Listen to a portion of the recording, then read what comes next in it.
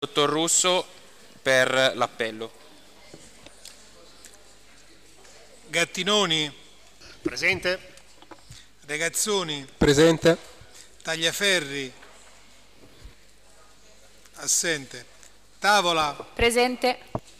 Sanseverino, Presente, buonasera. Roberto Nigriello, Presente. Vittorio Campione,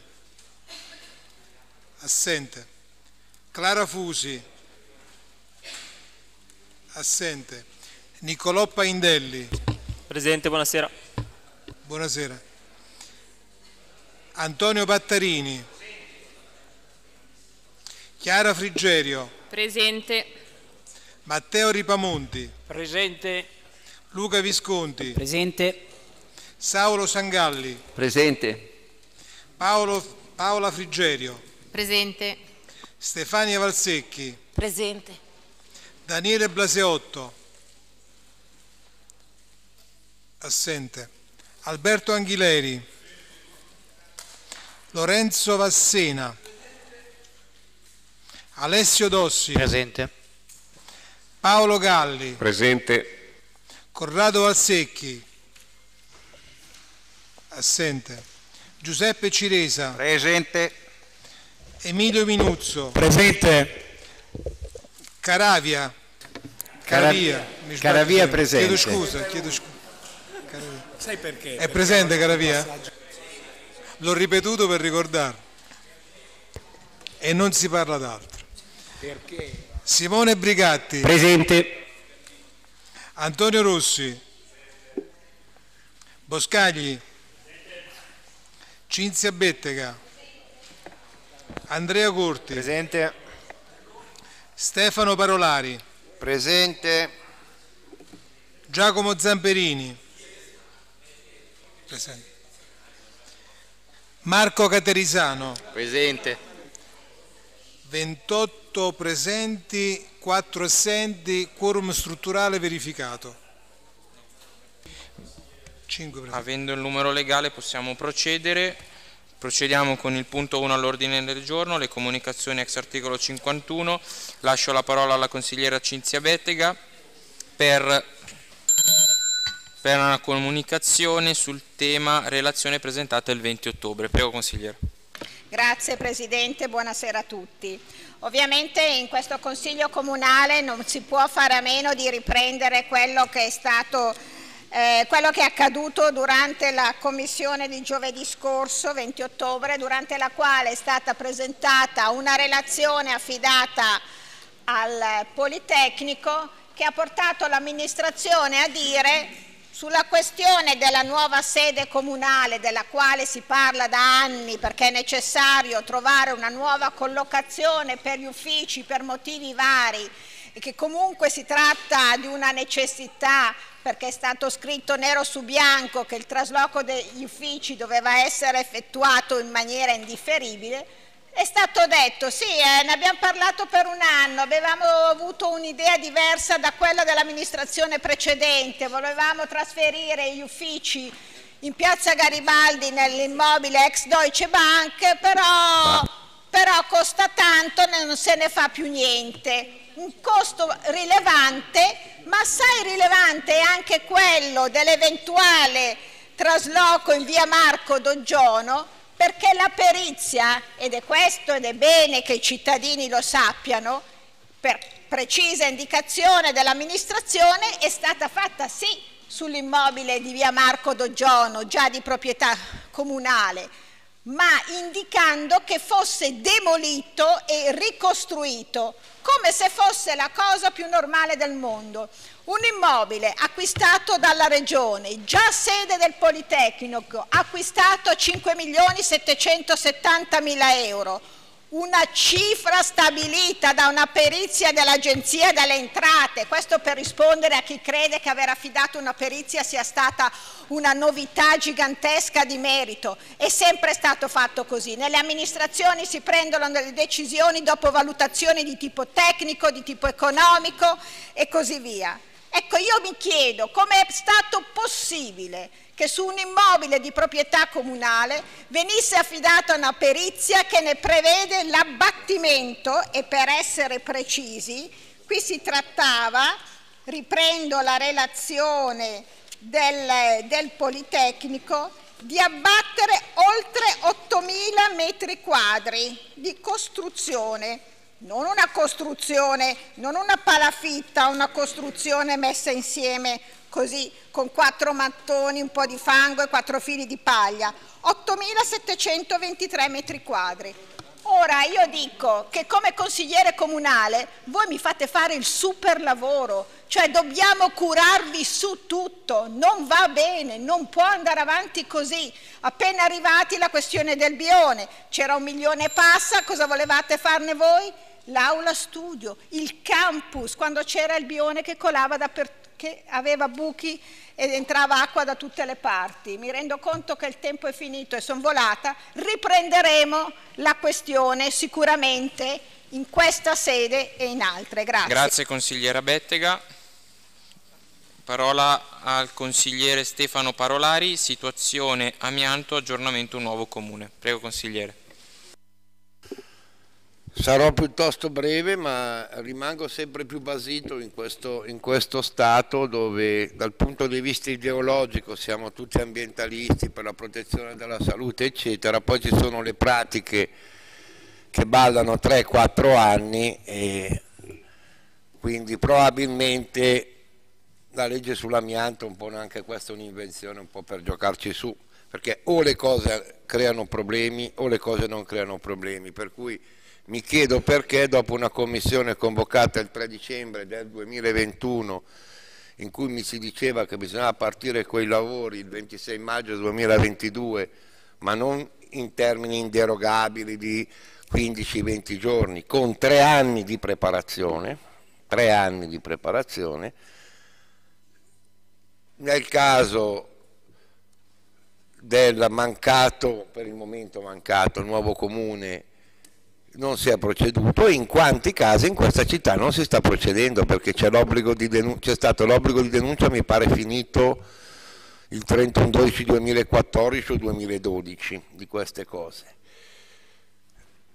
Quindi eh, se il comune analizza una situazione assieme agli enti preposti arriva a delle determinazioni, se lo spazio è di 15 giorni, sono il primo a dire che forse siamo un po' troppo tranquilli, ma se lo spazio sono mille giorni, eh, probabilmente non crediamo molto in quello che professiamo nelle nostre uh, visioni politiche sull'ambiente, sulla salute, eccetera. La politica non è quello che si dice, ma quello che si fa e vediamo qui una pesante contraddizione.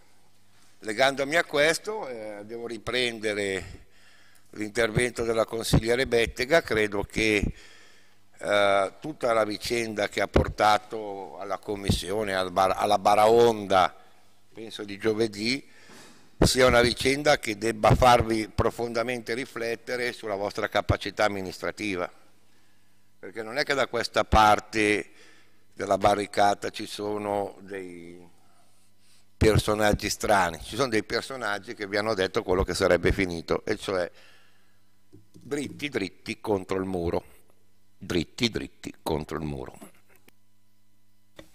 Grazie consigliere Parolari, parola al consigliere Ciresa, intervento su nuova sede comunale, prego consigliere. Sì, grazie Presidente, buonasera a tutti. Io eh, anch'io ecco, volevo ehm, eh, rimarcare proprio velocemente eh, queste, eh, queste, scelte sbagliate eh, che, che, sono state, state prese eh, e, e, mi chiedo, ma me lo chiedo fortemente per perché... favore, scusi consigliere, se in aula evitiamo di parlare riusciamo anche a comprendere quello che dice il consigliere Ciresa visto che sta parlando, grazie. Prego consigliere. E mi chiedo eh, fortemente proprio perché non si è seguita eh, l'ipotesi di, eh, di, continuare il progetto di via Marco Dogiono. Eh, ormai era lì ehm, diciamo quasi metà, metà pronto con ehm, la, la, la sede, eh, l'immobile acquista, acquistato, una, una prim, un, primo, ehm, un, primo, step di, di, di, quattrini per partire col primo, col primo lotto. E poi eh, un'operazione di questo tipo importantissima perché la sede del comune è una delle, delle priorità che un comune deve avere per, per servire bene i cittadini in tutti, in tutti gli uffici che, che, che, che, vengono, che sono a disposizione. Non, non capisco perché non, non, si sia pensato ad accendere un mutuo, un mutuo ventennale eh, con, con allora, due anni fa, gli interessi erano pressoché poco più di zero e quindi se si faceva un, un, un mutuo a tasso fisso eh, l'andamento del mercato di oggi finanziario non avrebbe eh, inciso più di tanto. Quindi ecco proprio questo secondo me è l'errore grosso che è stato fatto. Se avessimo percorso quella strada di via Marco Dogiono eh, adesso o comunque fra pochissimo tempo avremmo avuto eh, il il comune con tutti gli uffici sistemati e non dislocati in cinque o sei sedi diverse. I cittadini sono veramente, io ne sento parecchi, sono veramente eh, frastornati perché sanno, in, tante, in, tante, occasioni non sanno dove, dove andare eh, quando hanno bisogno di cose particolari eh, dal, dal, dagli uffici del comune. Quindi ecco, la mia è proprio una, una, un dissenso totale a questa a questa scelta di voler eh, congelare tutto e non più invece pensare alla, alla priorità della sede comunale e degli uffici comunali. Grazie. Grazie consigliere Ciresa, parola al consigliere Emilio Minuzzo, intervento sul nuovo comune. Prego consigliere. Grazie Presidente. Eh, un, un incipit eh, su un tema che oramai ha scaldato gli animi eh, lungamente eh, e eh, che purtroppo non vede eh, un epilogo eh, soddisfacente per la città.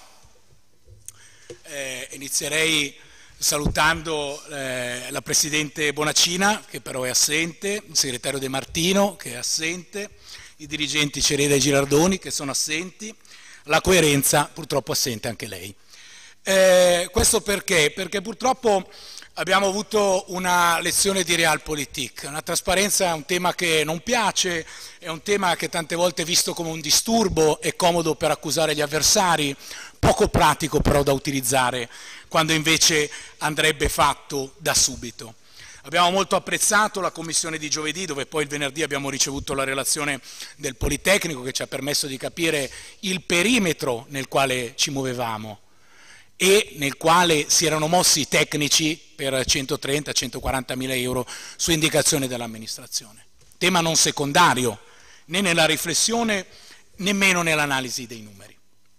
Questo va detto in maniera importante, ma noi che siamo magari un po' lenti siamo rimasti indietro, stiamo ancora cercando di capire il numero effettivo dei dipendenti, stiamo ancora cercando di capire quali erano le dimostranze di ATS un anno e mezzo fa, stiamo ancora cercando di capire dove sono le carte che giustificavano le dichiarazioni sugli 8 milioni di intervento su Palazzo Bovara, insomma stiamo cercando ancora di capire tantissime cose, ma come al solito rimane la cortina di fumo, l'arrosto o l'ha rubato qualcuno o non c'è mai stato, purtroppo. Non, eh, non, eh, abbiamo ritenuto accettabili le giustificazioni che sono state date, non abbiamo ritenuto accettabili le spiegazioni che sono state date, l'abbiamo evidenziato in altre sedi, abbiamo già palesato le nostre preoccupazioni per il futuro di via Marco Doggiono, sulla quale vigileremo con particolare e solerte attenzione, diciamo che l'epilogo ci, ci, fa sovvenire un'immagine, l'immagine di quel comandante che scappa e abbandona la nave, ma attenzione signor Sindaco perché mentre lei si dissocia da, dalle responsabilità di una regia sua, a bordo della nave che sta andando a picco rimangono i cittadini e i dipendenti del comune. Grazie. Grazie consigliere Minuzzo, parola al consigliere Filippo Boscagli per l'intervento sul Palazzo Municipale. Sì, grazie, proseguo quanto anticipato dai colleghi di minoranza, citando anche interventi non miei. Falsità per coprire un errore di sottovalutazione e nel merito delle argomentazioni. Tra le dichiarazioni che ho letto e sentito ci sono imprecisioni che rasentano la bugia come amministrazione, a dispetto delle valutazioni disinformative di Fattore Lecco e altri, avevamo già analizzato altri stabili e soluzioni. entrando nel tema di questi anni. Tanto tuonò che non piovve, direi anche eh, se l'atteggiamento del Comune ha avuto palesi tratti di supponenza non rispettosi del valore costituzionale della sussidiarietà. Posso dire che questa necessità di sottolineare elementi di discontinuità ancora dopo due anni palesa debolezza il cambio di passo poteva essere dettato da un'accelerazione o dall'aggiornamento di progetti in corso, invece noto solo un accanimento contro il passato, che peraltro non chiarisce dove si voglia andare, al di là degli slogan e delle parole d'ordine. Sono passati due anni, c'è un problema di concretizzazione che rischia di diventare la cifra di questa amministrazione. Ora, eh, queste parole eh, non sono nostre anche se noi le ripetiamo da due anni non sono nostre anche se le avevamo denunciate in campagna elettorale, ma sono del vostro sindaco, ex sindaco, comunque amministratore di questa città per dieci anni, Virginio Brivio. Noi lo ripetiamo, l'abbiamo denunciato insieme eh, sabato mattina, questa città non può sostenere l'incapacità di governo e eh, le lotte interne al PD che state portando avanti nella dimostrazione plastica anche di questa sera i banchi vuoti di alcuni consiglieri probabilmente parlano da soli senza volerli nemmeno esplicitamente citare.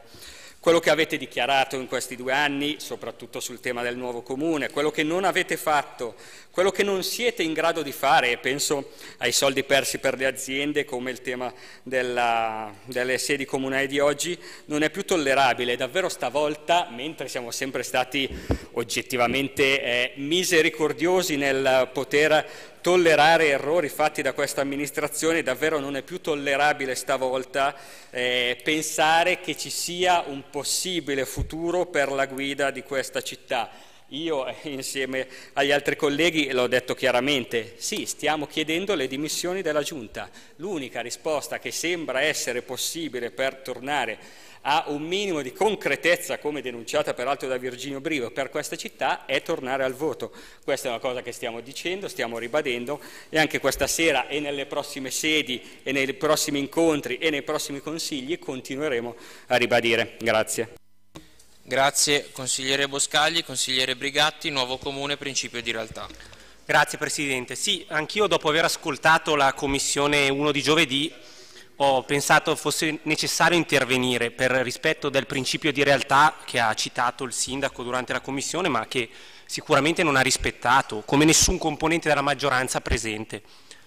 Penso che il modo migliore per rispettare il principio di realtà sia partire dalle vostre parole, quelle che avete detto nel Consiglio Comunale del 2 novembre 2021, che dicono qual è il vero motivo per cui siamo partiti con questo progetto, pensiero legato alla Deutsche Bank e non sono quelle che avete cercato di dire in commissione. L'assessore Sacchi durante il Consiglio Comunale ha detto nell'ottica politica di individuare un unico edificio che possa diventare la casa di tutti, cittadini e dipendenti. Il sindaco Gattinoni stessa, nello stesso Consiglio Comunale ha detto chiediamo due mesi per affacciarci al mercato, chiedere se ci sono immobili pronti a ricevere l'intera macchina comunale. Qualche giorno dopo il consigliere Ripamonti in un comunicato stampa ha detto con il voto di martedì si è aperta una verifica doverosa sulla possibilità di individuare una sede unica per il municipio. Oggi tra l'altro questa cosa fa anche un po' sorridere perché ci troviamo un comune spezzatino che è tutto il contrario di quello che avevate detto e non sappiamo neanche per quanto ce lo troveremo. Ricordo molto bene anche le mie parole nello stesso Consiglio Comunale. Si sta già tagliando su varie voci per interventi necessari. È evidente che questa decisione, l'ex Deutsche Bank, mette in difficoltà il nostro bilancio e non renderà sostenibile altre opere. Sono esattamente le stesse parole che avete detto per la prima volta durante la commissione di giovedì. Quindi non raccontateci, per il principio di realtà, che il vero motivo per cui è stato fermato l'iter riguardante via Marco Doggiono sia la verifica dei numeri, perché altrimenti l'iter sarebbe cominciato proprio dalla verifica dei numeri su via Marco Doggiono e sulla sua ristrutturazione, non sulla sua demolizione, che nulla a che vedere con il progetto in essere. Nessun... Il progetto in essere era già stato trattato e si era parlato della demolizione ed era stata scartata perché non era sostenibile. Quindi no, non, non riusciamo a capire come sia possibile prendere una relazione che non tratta la, il progetto originario e farla passare come una forma di realtà, di studio della realtà. Quindi Io penso che possiate cantarvela, suonarvela tra di voi, raccontandovi sicuramente quanto siete bravi e previdenti. Io mi è sembrato quasi di sentire Nostradamus durante la commissione perché si parlava come se si sapesse che sarebbe scoppiata la guerra e tutto il disastro economico che abbiamo in corso.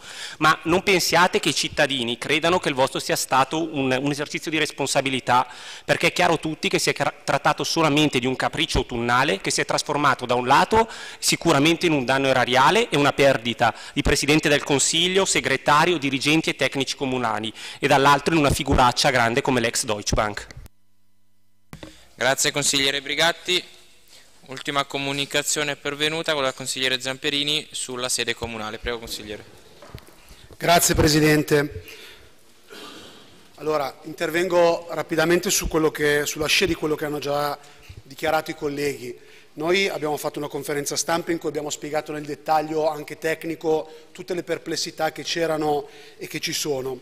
Quello che a me interessa sottolineare questa sera e comunicarvi è che davvero la città non può pagare eh, le scaramucce interne al centro-sinistra. Io ho visto davvero in questa situazione, mai come prima d'ora, una eh, resa dei conti interna, probabilmente mi viene da pensare in vista delle elezioni regionali in cui è cosa nota, si candideranno probabilmente Virginio Brivio contro Fragomeli che è sponsor dell'attuale sindaco eh, di questa città e sulla base di questa scaramuccia politica interna voi state facendo pesare e pagare il conto al, ai cittadini lecchesi. Io leggo testualmente, la relazione non prende in considerazione tutte le ipotesi, non lo dice Zamperini, non lo dice Fratelli d'Italia, lo dice Virginio Brivio. Avete banalizzato un lavoro che meritava invece eh, di, di, essere rispettato. Non lo dice Zamperini, non lo dice Fratelli d'Italia, lo dice Virginio Brivio. Avevamo già fatto diverse operazioni comparative e ehm, scartato l'ipotesi della demolizione per quello che diceva prima il collega Brigatti. Non lo dice Zamperini, Giacomo e Fratelli d'Italia, lo dice Virginio Brivio. Se non ci fossero stati tutti gli uffici dentro nel progetto di via Marco Doggiono, i dirigenti non avrebbero avallato questa ipotesi assieme alle altre istituzioni, eccetera, eccetera. Non lo dice Zamperini Giacomo, non lo dice Fratelli d'Italia, lo dice Virginio Brivio perso un contributo sulla rigenerazione urbana nonostante ci siano oggi più risorse rispetto a quelle che ci stavano ieri. Non lo dice Zamperini Giacomo, non lo dice Fratelli d'Italia, lo dice Virginio Brivio. Voi avete sbugiardato l'operato dell'amministrazione precedente della quale molti dei colleghi che oggi stanno in maggioranza facevano parte e lo avete fatto esclusivamente per una resa di conti interna. Io vi chiedo davvero di trovare una, un briciolo di onestà e di, ai colleghi di maggioranza in Consiglio Comunale, valutare seriamente cosa state facendo, perché se quello che avete fatto dieci anni fa faceva schifo, lo dovete dire. Se invece quello che non è stato fatto andava fatto meglio è un altro discorso, ma queste sono parole del vostro ex sindaco del PD, del Partito Democratico, Virginio Brivio. E soprattutto e chiudo davvero, la schizofrenia del sindaco di oggi che in commissione ha fatto una battaglia, manco fosse Batman a Gotham City, dicendo io non permetterò che con i soldi dei lecchesi si facciano questi scempi, si buttino via soldi. Ma siete stati voi a tirare fuori l'argomento, siete stati voi a dire che volevate la sede in centro, siete stati voi a dire che volevate accentrare i servizi perché così sarebbero stati efficientati. Non l'abbiamo detto noi, noi dall'inizio vi abbiamo detto che la cosa non sapeva da fare. E quindi davvero ragioni, signor Sindaco, su questi due anni di nulla e valuti davvero di fare come gli inglesi che le ha citato in commissione, rassegnando le sue dimissioni. Le soluzioni per il futuro, e chiudo Presidente, non ci sono. Noi abbiamo detto di valutare via Marco Doggiono, noi abbiamo detto magari di prendere in considerazione altri edifici come via Egualada, dove c'è l'ex agenzia delle entrate. Nessuno ci ha dato soluzioni alternative, quindi voi siete partiti dicendo facciamo la sede del secolo in centro Lecco, dove tutti gli uffici vengono accentrati, avete concluso e finito il vostro percorso percorso di grandi analisi pagate dai cittadini lecchesi, con un nulla di fatto dove gli uffici sono ancora più, frastagliati, più frastagliati e divisi e separati rispetto a prima. Io davvero non ho, non ho, parole e vi invito a una seria riflessione. Grazie. Grazie consigliere Zamperini, terminato il punto 1 all'ordine del giorno, passiamo al punto 2, le domande di attualità ex articolo 52, lascio la parola alla consigliera Cinzia Bettega per la domanda sul tema ordinanza del sindaco del 5 ottobre. Prego consigliera.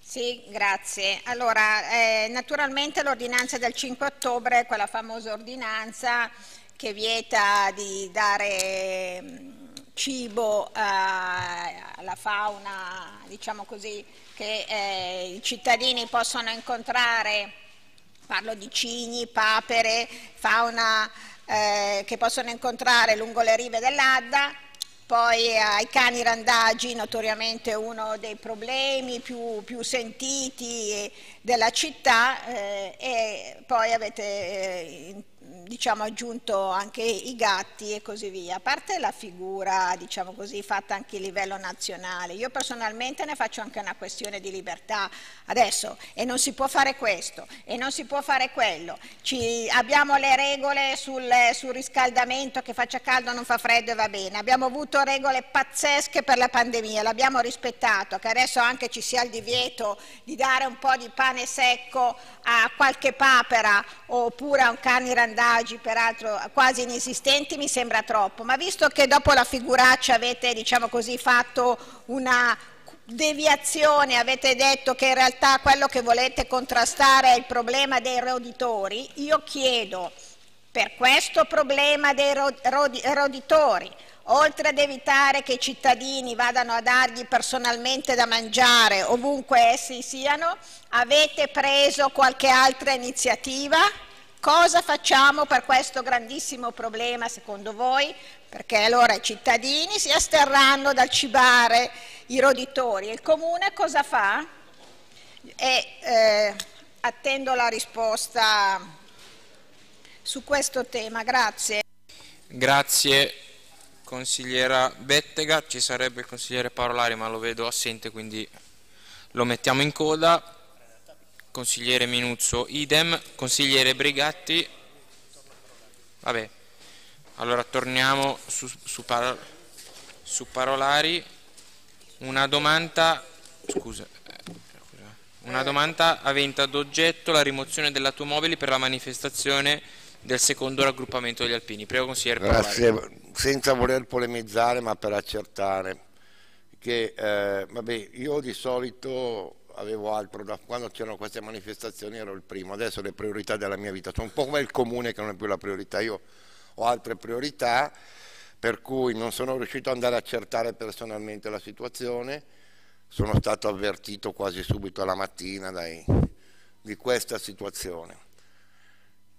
Quello che voglio manifestare non è una protesta, ma eh, cercare di capire, uno, quanti sono i reali numeri dei, delle rimozioni fatte, perché questo conta, e eh,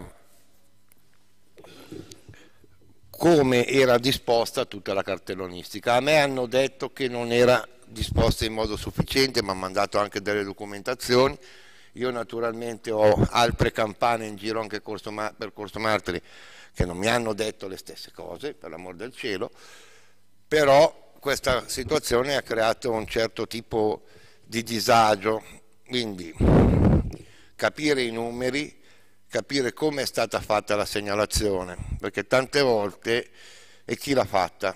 Perché temo che non la facciano più i nostri uffici e questo ha delle conseguenze che se, fanno le segnala- se chi lavora sulla città non conosce la città, si attiene alle regole ma non conosce gli usi, eccetera. Per cui capire questa cosa e nel caso, se i numeri siano tanti, prendere in mano la situazione come amministrazione perché credo che non sia la volontà di nessuno essere uh, dalla parte della mannaia con le multe, con le rimozioni, eccetera. Per cui se è possibile ed è giusto soprattutto, possibile e giusto, eh? non, se è ingiusto non si fa. Se è possibile e giusto affrontare con i cittadini colpiti un percorso, probabilmente è il caso di farlo, soprattutto se sono molti, perché è chiaro che se in un ambito abbiamo un numero limitato di persone che sono state colpite, probabilmente la responsabilità va a loro se invece il numero è molto elevato qualcosa può non aver funzionato. L'altra cosa che sottolineo è se è stata, non lo so, eh, individuata nella, nella segnalazione e nella pubblicizzazione un'area alternativa a queste persone dove parcheggiare.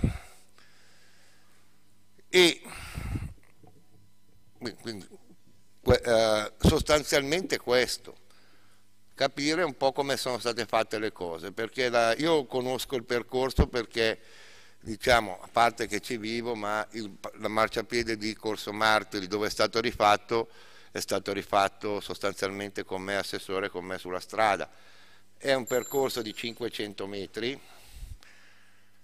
Gran parte di queste persone non ha un posto auto ma non può avere un posto auto. Per com'è la città perché fanno parte, fa parte del centro non storico propriamente detto o giuridicamente detto della città ma fa parte dell'antico nucleo che il primo aprile del 1968 quando nemmeno io ero ancora nato è stato individuato come il perimetro urbanistico chiamiamolo originario Grazie consigliere Quindi, Parolari, la invito a chiudere. Che, eh, concludo, ripeto, se i numeri e se è possibile andare incontro a queste persone. Sottolineo che io non ho preso la multa, eh, perché magari qualcuno pensa male. Grazie consigliere Parolari, parola ora al consigliere Minuzzo, una domanda su sicurezza, rioni e viabilità. Prego consigliere. Grazie Presidente, ma per quanto riguarda i rioni volevo chiedere se ci sono delle novità o delle risposte riguardo ai fatti che sono accaduti a La Orca e poi a Malavedo che si ripetono eh, da mesi, che hanno visto una reazione importante dei cittadini che si sono organizzati in forma privata per garantire la tutela dei propri beni e per garantire la tra virgolette sicurezza all'interno del rione.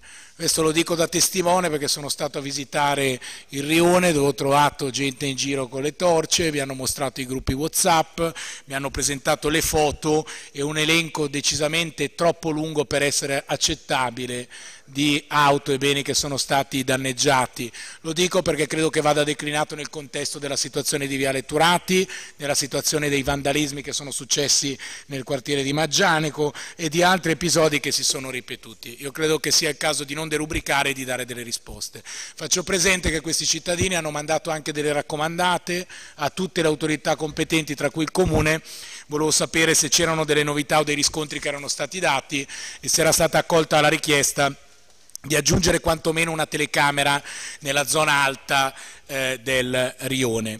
Per quanto riguarda il tema della viabilità, due sono le domande. Eh, la prima, eh, che ha anticipato anche il collega eh, Parolari, riguarda i fatti accaduti ieri che poi già hanno avuto risvolti sulla stampa. Vorrei sapere intanto il numero definitivo delle auto rimosse ieri e anche il numero delle sanzioni elevate, perché alcuni residenti hanno avuto la, la, la bontà anche di spiegare che hanno ricevuto notifica degli agenti della polizia locale, in questo caso eh, lungimiranti perché hanno dato la multa solamente per l'infrazione ma hanno evitato che il veicolo eh, venisse rimosso. Faccio presente che ad esempio anche sono nella via qui Marco Doggiono la segnaletica che è stata posta non solo era carente ma è stata posta solamente in alcuni punti della via. Quindi questo sicuramente non gioca molto a favore di una comunicazione ampia, anche perché tutti i cittadini sanzionati hanno detto e sono detti come sempre favorevole alla chiusura eh, per determinate manifestazioni, ma solitamente ricevano, ricevevano delle comunicazioni capillari, una segnaletica molto più chiara e molto più approfondita, evidentemente se si tratta per davvero di 100 auto rimosse qualcosa eh, non ha funzionato. Spero che non si voglia gestire questa pratica come quella del nuovo comune, un po' come quella degli alpini, dove prima si fanno gli ordini del giorno contro con, delle, con dei punti abbastanza discutibili e poi si eh, marcia tutti assieme. Per quanto quanto riguarda il secondo punto invece qualche aggiornamento riguardo alla partenza della sperimentazione sul ponte Viazione Visconti e se c'erano anche novità sul piano di emergenza e sulla possibilità che venga poi inviato e illustrato a tutti i consiglieri. Grazie. Grazie consigliere Minuzzo, consigliere Simone Brigatti, Ostello De Or e Bus Rotonda di Via Valico. Prego consigliere. Grazie Presidente. Sì, ehm, sull'ostello eh, diciamo che siamo un po' stufi di dover sempre rispondere a cittadini che non sappiamo quando si apre. Volevo sapere a che punto siamo con tutte le autorizzazioni mancanti e eh, sempre riguardo a una promessa che era stata fatta dall'assessore di visita dell'ostello da parte dei commissari della Commissione 4 Vorremmo sapere, visto che ad ottobre non, verrà, non sarà possibile fare questa visita come ci ha comunicato il Presidente, quando avverrà, perché comunque è nostro diritto e anche dovere verificare le strutture comunali. Ehm, per quanto riguarda invece il Deor Parco Addio ai Monti, allora, la prima gara era andata deserta, so che c'è stata una seconda gara, non abbiamo eh, saputo nulla del risultato di questa seconda gara, volevo sapere qual era la situazione e in caso di mh, mancata assegnazione se, quali sono le, le, problematiche rilevate durante questi bandi che non permettono l'assegnazione di questo luogo che è anche abbastanza strategico sul, sul passaggio di pedoni e ciclisti. Infine una domanda sulla stazione bus di cui si parla la di, tra, tra, la rotonda di Via Palicco e il complesso Broletto Sud. Ecco, a prescindere dalla discussione sull'opportunità o meno di fare l'opera lì, che è un punto abbastanza, anzi molto trafficato della città, eh, mi, mi, sono arrivate segnalazioni di residenti del Broletto che eh, parlano di una convenzione esistente che indica come indisponibile quell'area che si vorrebbe utilizzare per, il, per, per fare una, la zona di ehm, di, diciamo la stazione dei bus, quindi volevo capire se avevate notizie a riguardo e qual era la, la situazione in merito. Grazie. Grazie consigliere Brigatti, consigliere Giacomo Zamperini, viabilità tra i due ponti e sicurezza nei rioni. Prego. Grazie Presidente. Eh, è partita finalmente la sperimentazione tanto agognata dall'assessore Zuffi. La, diciamo che i primi riscontri così non è che siano proprio positive, ma sempre lei ha eh, magari altre, degli altri feedback, come si chiamano oggi all'inglese, visto che il sindaco ha detto che dobbiamo essere tutti quanti un po' più all'inglese, anche, facciamo anche con i termini. Scherzi a parte, la, la situazione adesso è partita, no? quindi avrete eh, l'occasione di valutare un po' di dati, un po' di, di, di intoppi, ecco, cioè, i cittadini non hanno compresa benissimo, almeno quelli che eh, mi, mi, chiamano e quelli che mi, mi cercano.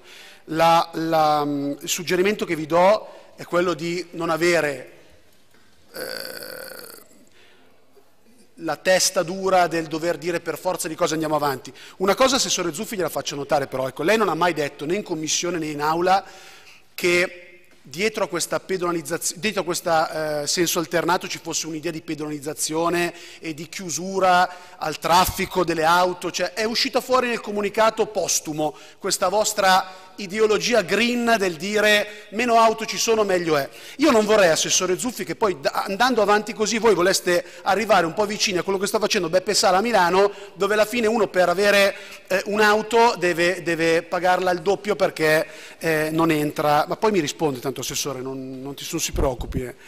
E quindi dicevo, ehm, valutate attentamente quello che state facendo. Noi per quanto ci riguarda lanceremo una raccolta firme per chiedere che la viabilità torni a essere quella precedente, soprattutto nella zona davanti alla clinica Mangioni. Chiederemo che il ponte eh, sia fatta la sperimentazione sì, ma senza chiusure ideologiche il sabato, la domenica, nei festivi e negli altri, negli altri orari in cui non, non, non, c'è, dato capire per quale motivo dovrebbe essere chiuso e soprattutto perché si trovino le risorse per fare le rotonde che voi avete detto che erano necessarie cioè quelle davanti alla ex Larius per intenderci, quella in via Leonardo da Vinci e quella eh, dove c'è in piazza Manzoni davanti, alla, alla, fine di, di, di, via Dante. Ecco, questa è la nostra richiesta e faremo una raccolta firme e poi le farò avere anche i risultati.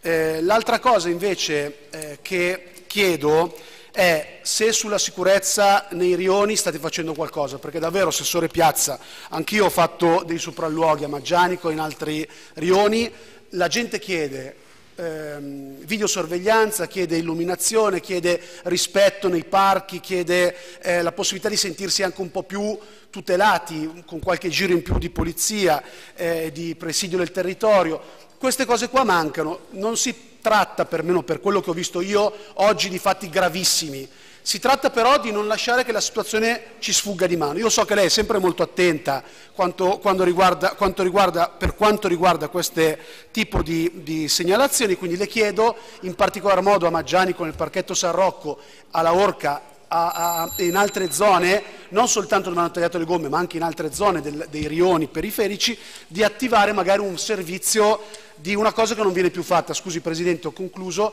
e cioè il, eh, il pattugliamento a piedi della polizia locale. Una volta avevamo fatto il vigile di quartiere, si ricorda? Forse no perché non era ancora in amministrazione, chiude, però, però. invi- la invito a riproporre questo, eh, questa, questa formula perché secondo me funzionava, vedere la polizia di prossimità urbana che gira per i rioni a piedi è sicuramente una, una cosa che può essere utile anche come sicurezza percepita e non soltanto per, eh, per tutto quello che l'ho detto prima. Grazie. Grazie consigliere Zamperini, consigliere Corti. Eh, Presidente, sull'ordine dei lavori, volevo chiedere se era possibile fare la verifica del numero legale dei presenti in aula. Grazie.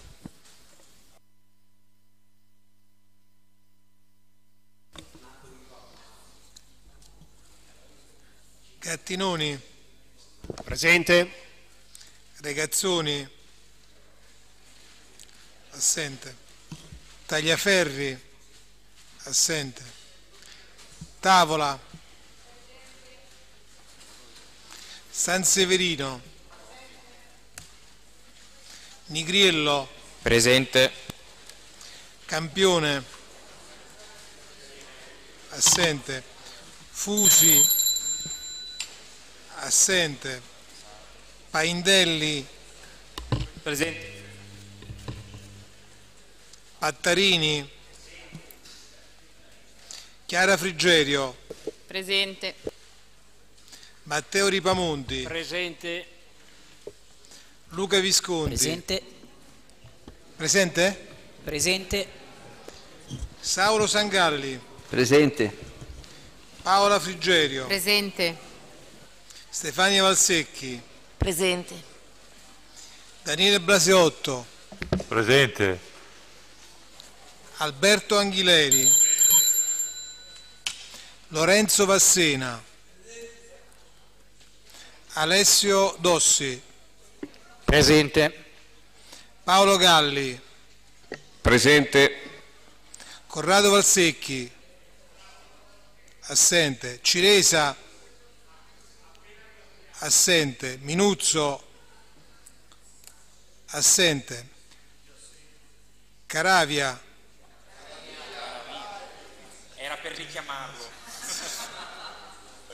Brigatti, assente, Rossi, assente, Boscagli, assente, Bettega, assente, Curti, assente, Parolari, assente, Zamperini, assente, Caterisano, assente, 17 presenti.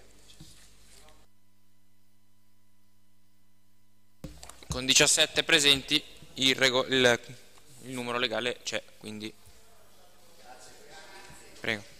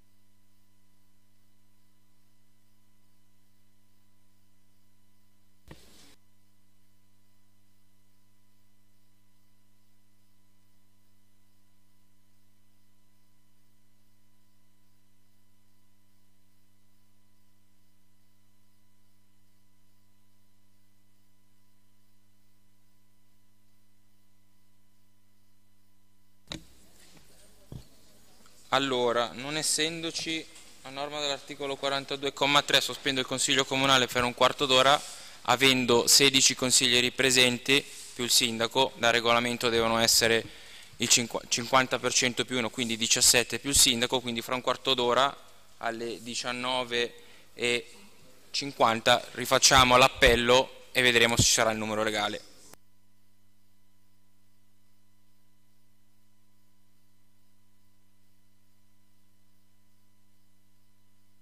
Il sindaco non, non, conta ai fini del numero legale, siamo 16 più il sindaco 17. Devono essere 17 consiglieri, al momento dell'appello chi ha risposto erano 16 consiglieri. Al momento dell'appello... No. Al... No. Scusate, allora, non è difficile, il Consiglio Comunale si riaggiorna alle 19.50 e si rifà l'appello. Grazie.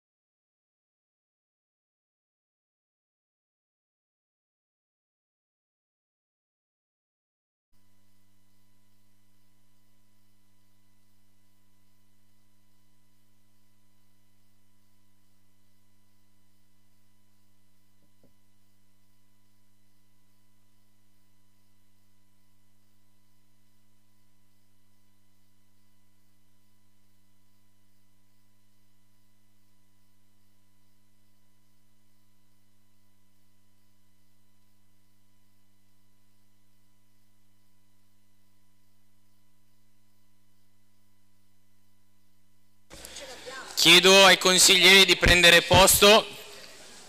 Lascio la parola al dottor Russo per procedere con l'appello. Sindaco. Presente. Regazzoni. Presente. Tagliaferri. Assente. Paola Tavola. Presente. Anna Sanseverino. Presente. Roberto Nigriello. Presente. Vittorio Campione. Assente. Clara Fusi. Assente. Nicolò Paindelli. Presente. Presente? Pattarini. Chiara Frigerio. Presente. Matteo Ripamonti. Presente. Luca Visconti. Presente. Saulo Sangalli. Presente. Paola Frigerio. Presente. Stefania Valsecchi. Presente. Daniele Blaseotto. Presente. Alberto Anghileri. Lorenzo Vassena. Alessio Dossi. Presente. Paolo Galli. Presente. Corrado Valsecchi. Assente. Giuseppe Ciresa. Assente. Emilio Minuzzo. Giovan Battista Caravia. Presente. Simone Brigatti. Presente. Antonio Rossi. Presente. Filippo Boscagli. Presente. Cinzia Bettega. Andrea Corti. Stefano Parolari. Presente. Giacomo Zamperini. Marco Caterisano. 28 presenti, 5 assenti. Grazie. Prima eravamo 31.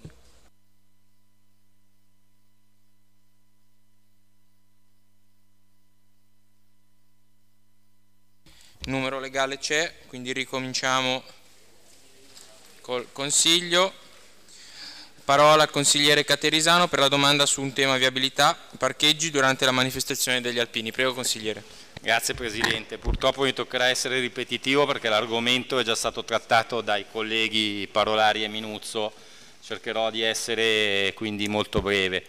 Eh, abbiamo visto, abbiamo eh, con entusiasmo potuto assistere ai due giorni al weekend della Dunata degli Alpini, eh, al quale siamo tutti grati eh, per aver scelto l'Ecco, eh, ma però purtroppo dobbiamo anche considerare eh, che probabilmente ci sono state delle criticità ehm, riguardo la comunicazione, eh, come già stato detto e anticipato, sulle chiusure delle strade e eh, sulle, mh, sulla mancata segnalazione o comunque insufficiente segnalazione dei parcheggi che non erano utilizzabili in quei due giorni.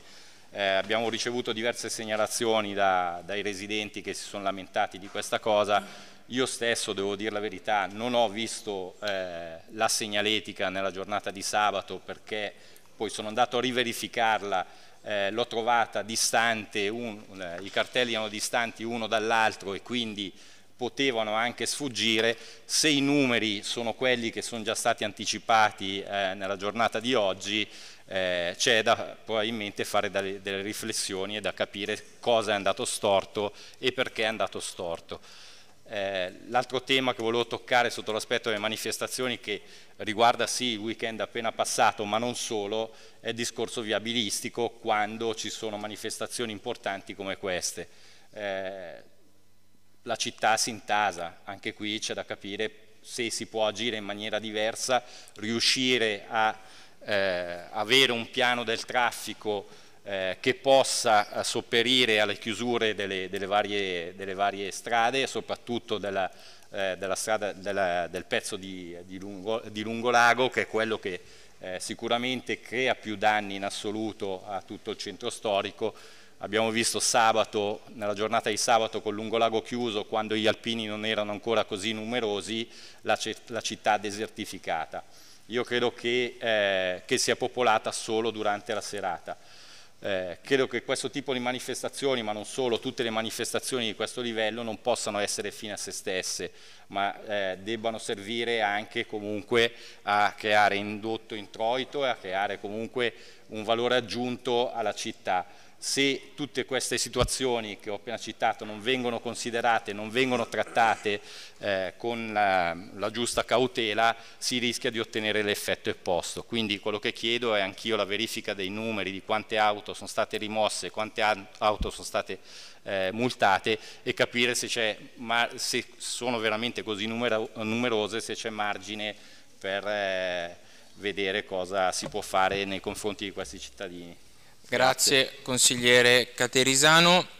Terminate la fase della presentazione delle domande, lascio la parola agli assessori per le risposte. Assessore Piazza, prego. Sì, grazie Presidente. Io rispondo per eh, la parte che ho fatto da raccordo per quanto riguarda il raduno degli alpini. Allora, ad oggi il conteggio che mi risulta delle auto rimosse sono 51, potrei forse sbagliarmi di qualche unità ma non di decine eh, sono state rimosse delle auto e altre invece sono solo state sanzionate, non a discrezione dell'agente di polizia locale, ma secondo un piano viabilistico concordato in prefettura con tutte le forze dell'ordine, per cui ove si reputava più pericoloso eh, le auto dovevano per forza essere rimosse, in altri casi si sono limitati alla contravvenzione. La cartellonistica è stata apposta in tutte le vie, tant'è che queste rimozioni non sono in un'area specifica, ma sono distribuite distribuite nelle varie vie che erano interessate dal divieto di sosta. Oltre alla cartellonistica a muro sono state messe delle paline verticali e sono state posizionate i giorni precedenti e necessari ehm, per l'avviso dei cittadini. È stata mh, emanata un'ordinanza ed è stata comunicata, oltre a essere messa sul sito del comune, comunicata via social.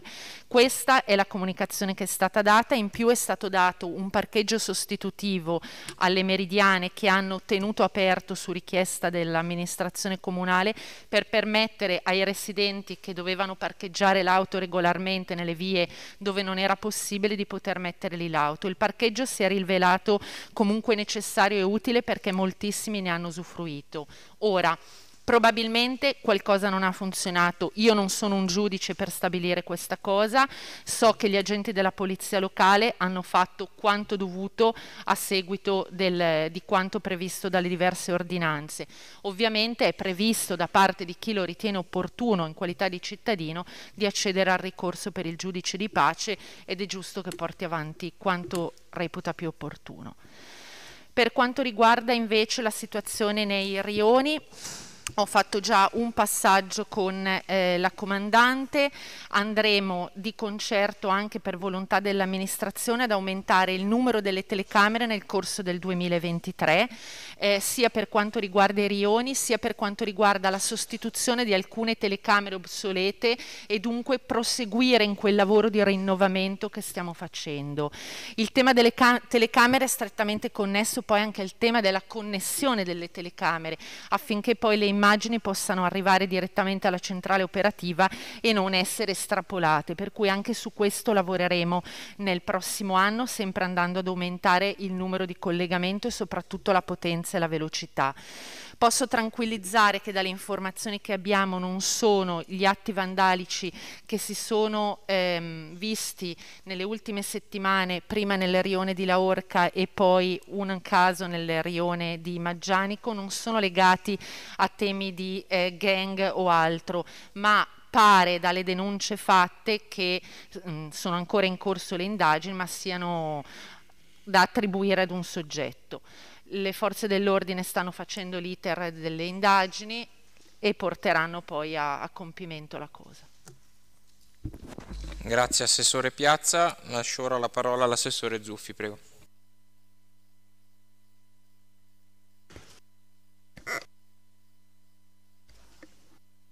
Ok.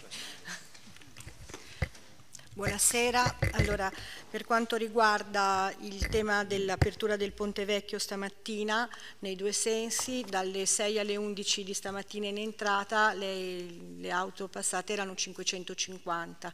Eh, la polizia locale c'è stata sia stamattina che intorno alle 17.30, quindi nelle due ore di punta.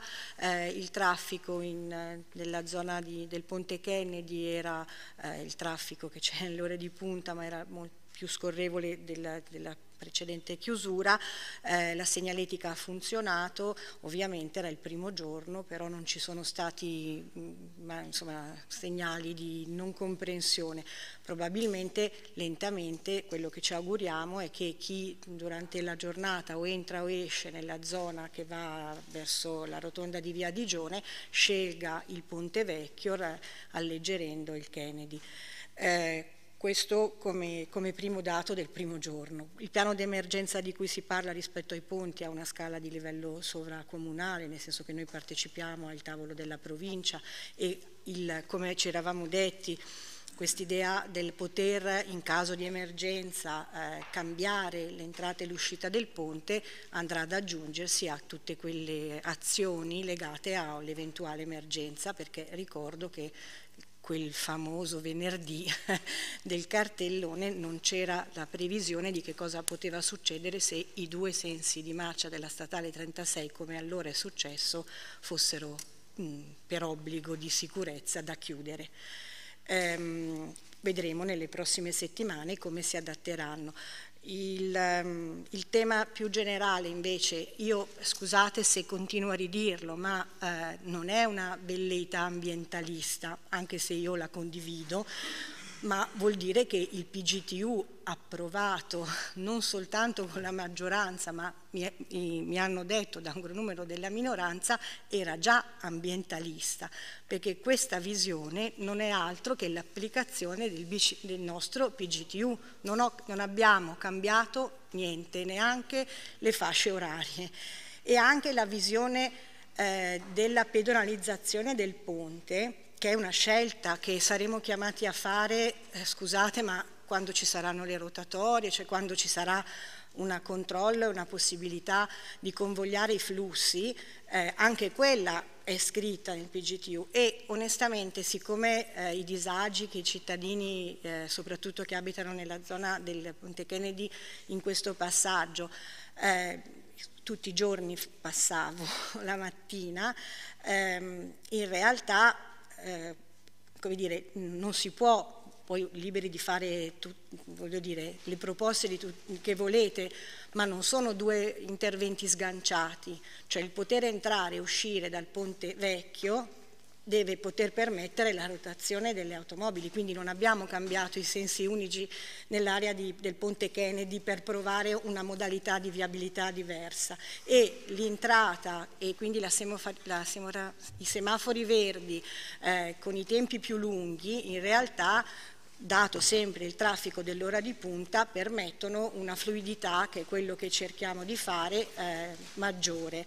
Io credo che anche qui ci si debba dare ai cittadini, a noi per primi, eh, l'adattamento a queste, a queste novità, che restano monche, in questo io condivido quello che dice eh, il consigliere Zamperini, che restano temporalmente monche perché dobbiamo andare a costruire almeno diciamo, la rotatoria eh, dietro al teatro, per intenderci, insomma, che è quella che permetterebbe quella fluidità maggiore che in questo momento manca, ma queste, siccome sono proprio le attuazioni del PCTU, sono le azioni che andremo a fare, con i tempi eh, che ci vorranno e con l'incrocio con i, i, cantieri del teleriscaldamento, perché anche quello ed è l'altra cosa che stiamo facendo. In sintesi, io credo, spero di aver risposto tutto, perché il, invece il tema stazione bus in via Balicco, allora lì è l'altro grande nodo, se credo lo condivida, eh, gli studenti che attraversano sulla rotatoria dell'innesto, credo che sia insieme a quello che si vede alle meridiane, no? la mattina, i due nodi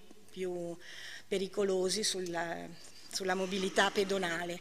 Allora stiamo semplicemente ragionando ok? Cioè quindi un progetto di fattibilità con un'interlocuzione con l'agenzia del TPL per provare a vedere di trasformare in qualche modo eh, il, la mobilità pedonale degli studenti dell'ora di punta e la vivibilità, la convivenza tra il TPL extraurbano e la poca accessibilità che la piazza della stazione ha.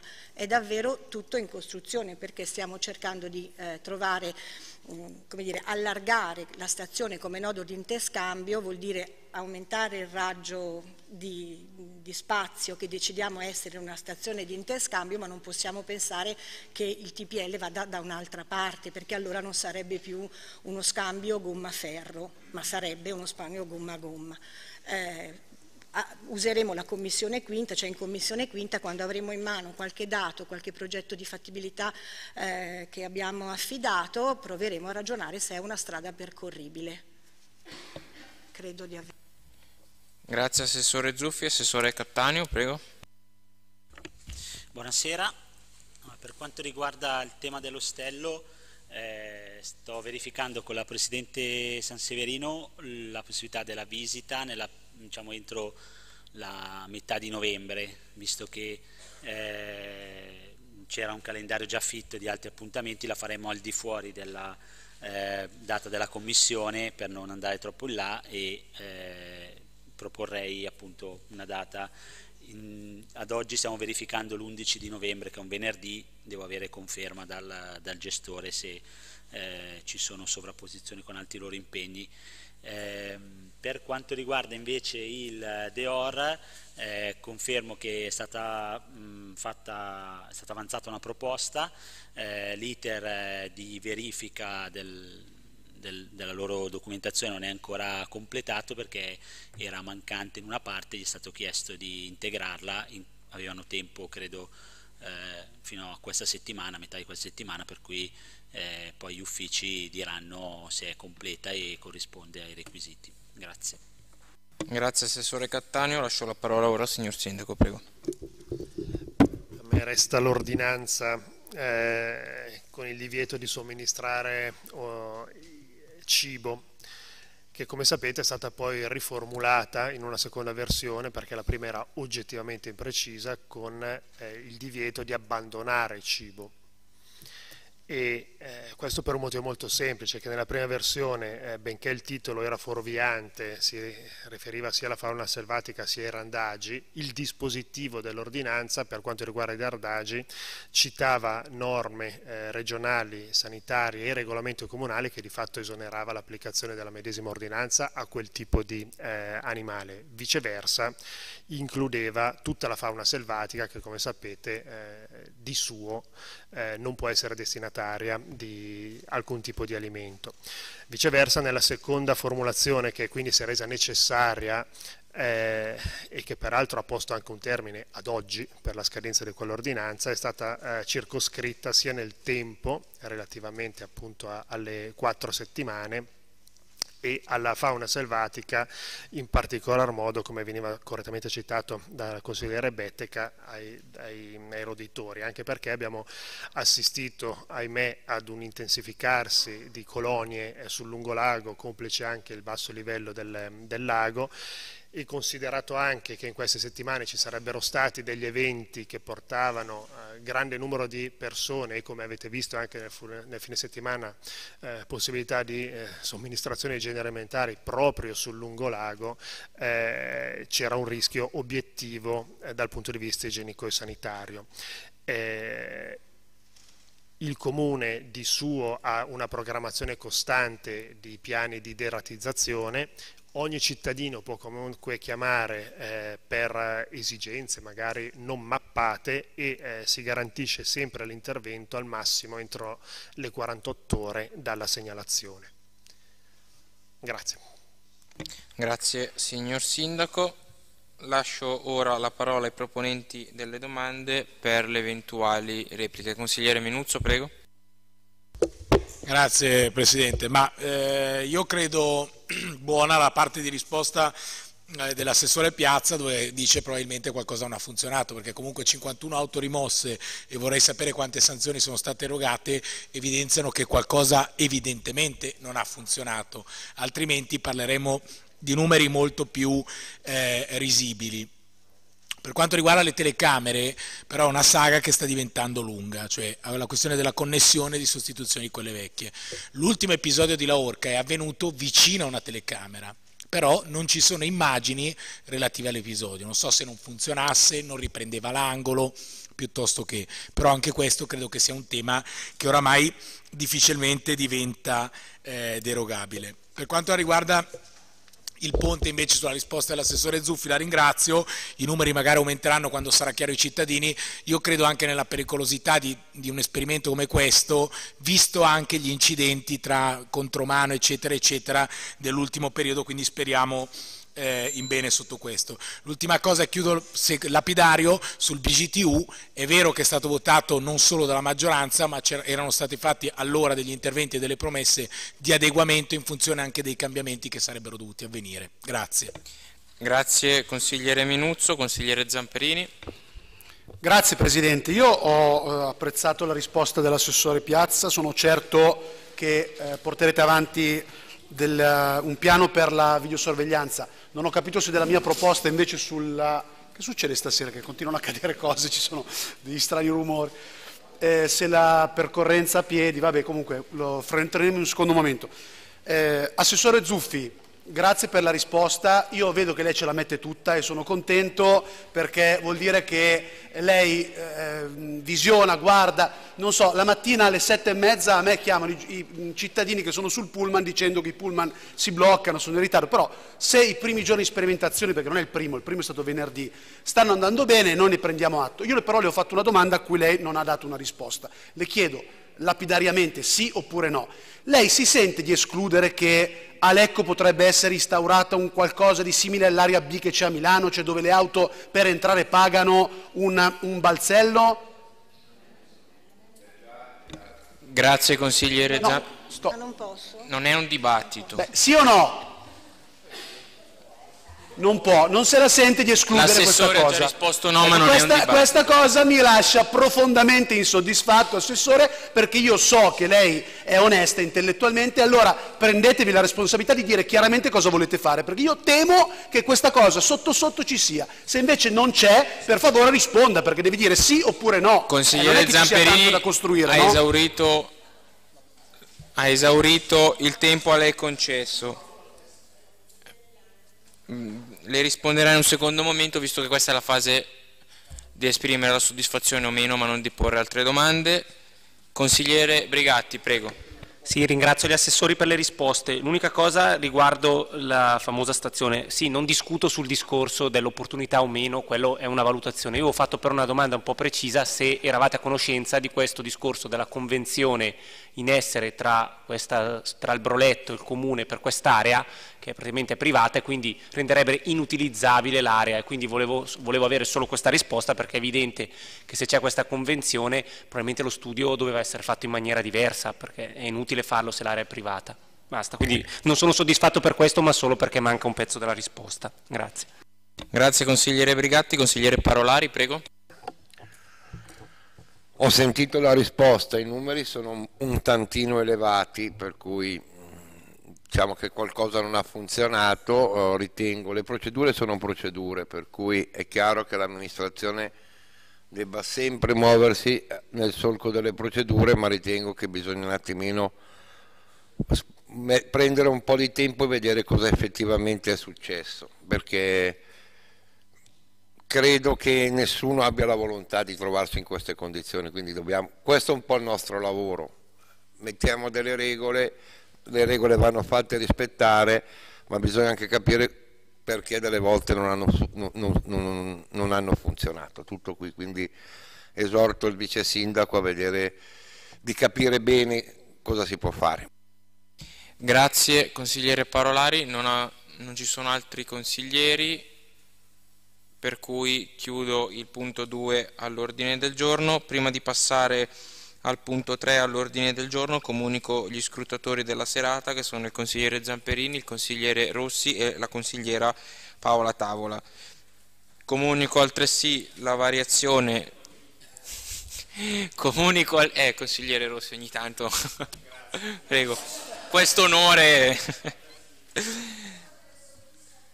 è soprattutto una soddisfazione. Eh, comunico altresì la variazione di punti all'ordine del giorno. Eh, dopo il punto 3 all'ordine del giorno eh, verrà trattato il punto 5 e il punto 6 con conseguente spostamento del punto 4, quindi la variazione di bilancio, dopo, fuori, dopo, dopo il riconoscimento dei due debiti fuori bilancio. Se nessuno si oppone alla questione chiaramente, altrimenti dobbiamo metterlo in votazione. Siete tutti d'accordo? Tutti d'accordo, nessuno si è espresso, per cui passiamo al punto 3 all'ordine del giorno, la ratifica della deliberazione di variazione di bilancio di previsione 2022, 2023 2024 adottata d'urgenza con i poteri del Consiglio Comunale ex articolo 175,4 decreto legislativo 267 del 2000 delibera di giunta comunale 286 del 6-10-22. Lascio la parola all'assessore Pietro Belli per l'illustrazione. Prego Assessore. Grazie Presidente, buonasera a tutti.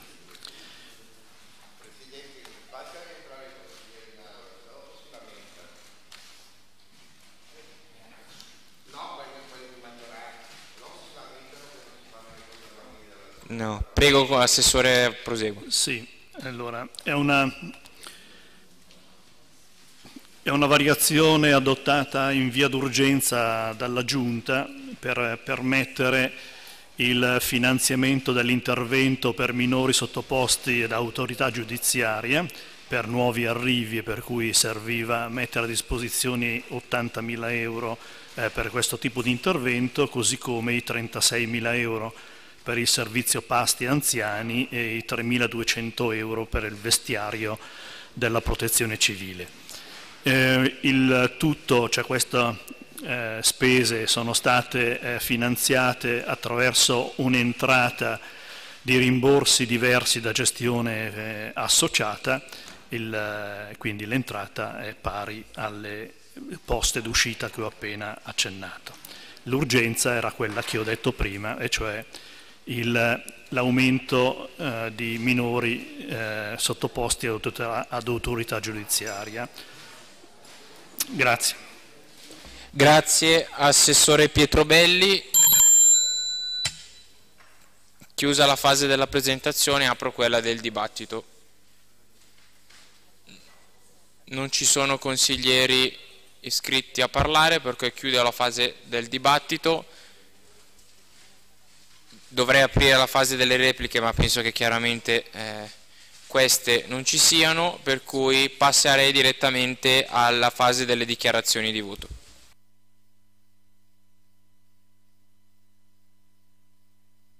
Non vedo consiglieri iscritti a parlare per cui chiudo la fase delle dichiarazioni di voto e apro la fase della votazione, un secondo solo che ritorna torna al segretario.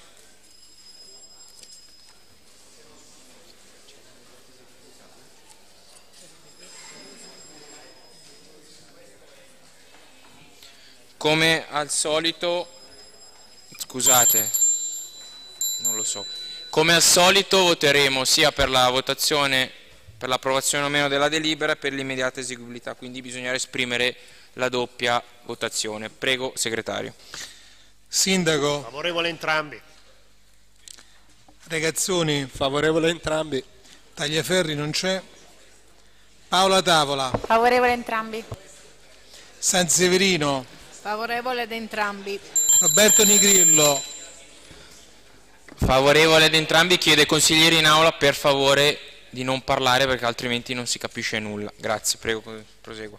Campione assente, Fusi assente, Paindelli. Favorevole entrambi. Pattarini. Favorevole entrambi.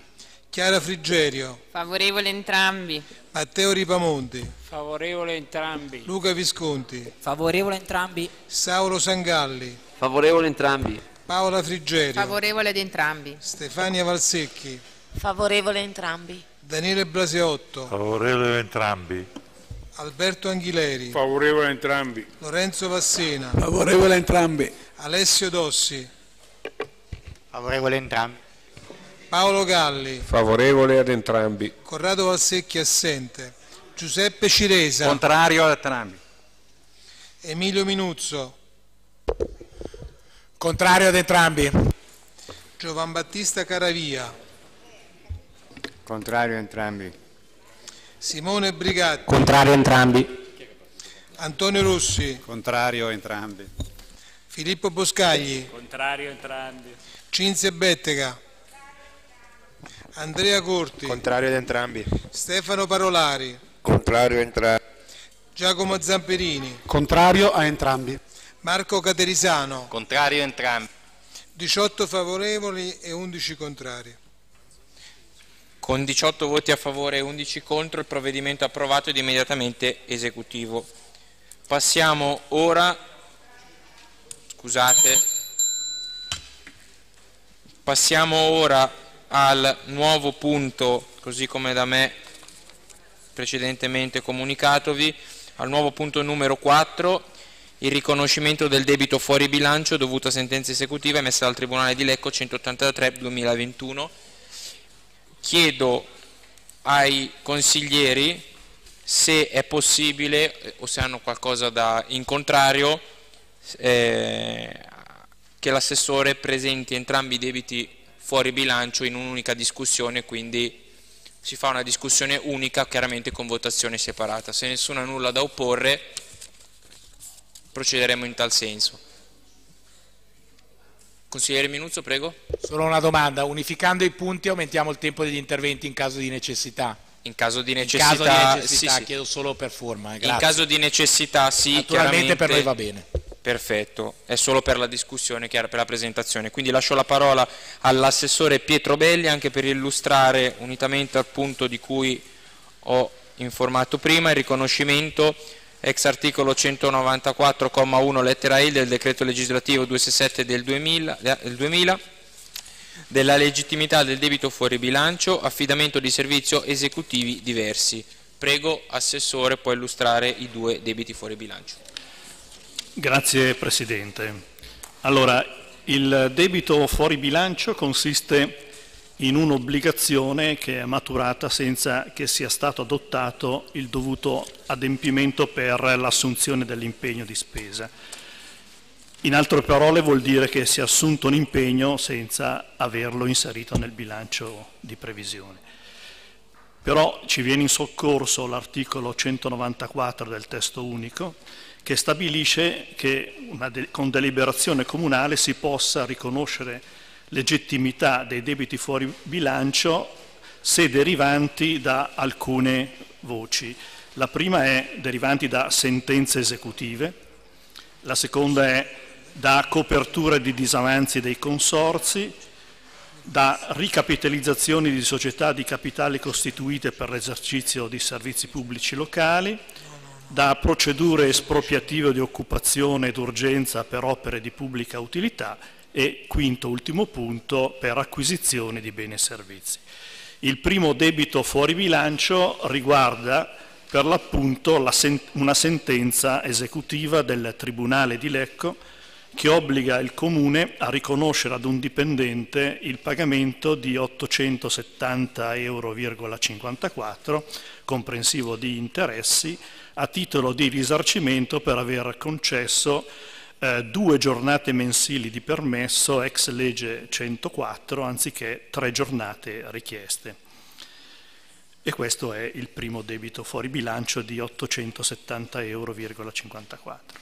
Il secondo debito fuori bilancio riguarda invece l'acquisizione di beni e servizi per 109.900 euro e secondo l'articolo 194 che ho prima citato, in particolare la lettera E, eh, i presupposti per il riconoscimento della legittimità del debito fuori bilancio eh, per l'acquisizione di beni e servizi sono quelli di eh, dover dimostrare l'utilità dei servizi affidati, nonché il conseguente arricchimento dell'ente.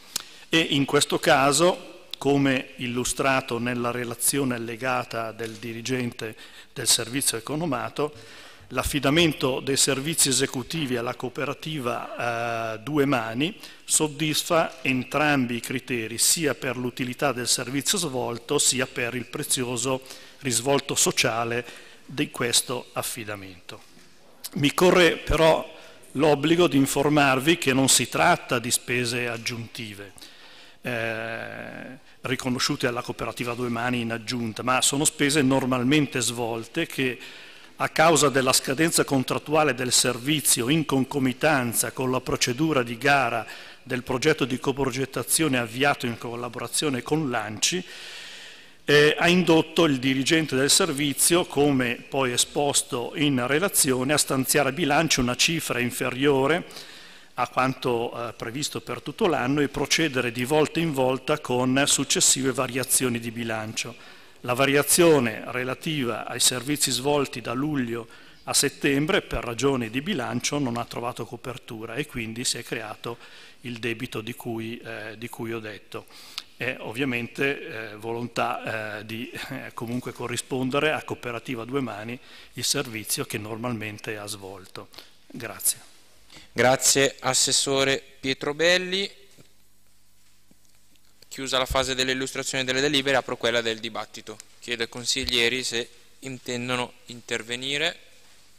Consigliere Filippo Boscagli, prego. Sì, grazie. Io rinnovo quanto sostenuto all'interno della commissione che abbiamo fatto settimana scorsa, eh, non tanto nel merito della, della prima eh, variazione di bilancio della, del debito fuori bilancio quanto quello sul, relativo alla cooperativa Due Mani che ovviamente è un riconoscimento sacrosanto dell'attività che è stata svolta per cui sarebbe anche eh, difficile contestare un'attività che da un lato è un'attività necessaria, è un'attività fondamentale per la città e dall'altro viene svolta regolarmente, per cui sarebbe una mancanza di servizio non approvare la, eh, non aver provveduto ad avere quei servizi, come sarebbe eh, piuttosto contestabile non riconoscere nella cifra che venga erogata. Quello che ho contestato all'interno della Commissione era il fatto di aver appreso che questa dinamica eh, di eh, progresso continuo questo, della, del contratto causa la mancanza di conclusione della gara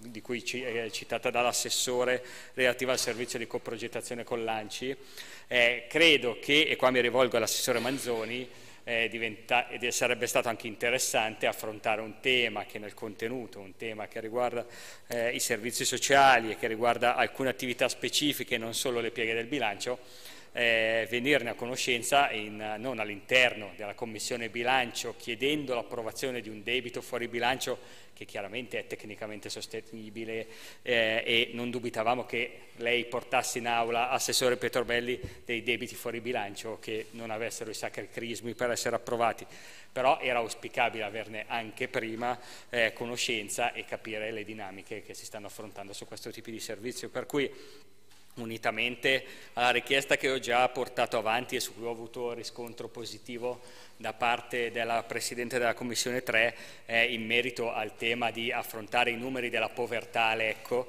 che credo che sia una mail che è arrivata a tutti perché penso che fossero tutti consiglieri in, in copia conoscenza, però auspico che anche le dinamiche di gestione della contrattualistica interna ad alcuni servizi possano essere portati a un dibattito di merito e non solo a un dibattito eh, per quanto riguarda invece l'approvazione la, poi del debito fuori bilancio, per cui su questo non chiedo neanche una risposta eh, attuale, chiedo che quando si fanno interventi su temi di bilancio ma che hanno dei contenuti, eh, l'assessore alla partita possa essere presente per poi entrare anche nel merito di determinate scelte che in questo caso, come ha detto l'assessore, come ha detto l'assessore in commissione, spettavano precipuamente al, all'assessorato al bilancio, ma il contenuto è prettamente eh, relativo al welfare, per cui auspico che questo è il vostro caso, ma che se capitasse anche poi lo sport, istruzione o cultura, gli assessori di competenza possano essere presenti per affrontare nel merito il tema di cui si sta trattando. Grazie. Grazie consigliere Boscagli. Non vedo altri consiglieri iscritti a parlare, per cui chiudo la fase del dibattito, lascio la parola all'assessore Pietrobelli per eventuali repliche. Prego Assessore, se ne ha. No, accolgo la sollecitazione del consigliere perché in effetti l'iter seguito è abbastanza interessante, per cui era anche magari meritorio di, di fare una commissione ad hoc, per cui si può fare. Grazie Assessore Pietrobelli. Chiusa la fase delle repliche, apro quella delle dichiarazioni di voto non essendoci consiglieri iscritti a parlare, procediamo ora alla votazione delle singole delibere. Ovviamente avverrà con, scusate, avverrà con votazione separata, entrambe le delibere sono assoggettate all'immediata eseguibilità. Procediamo ora alla votazione del punto 4 all'ordine del giorno, il riconoscimento del debito fuori bilancio dovuto a sentenza esecutiva emessa dal Tribunale di Lecco numero 183-2021. Prego segretario.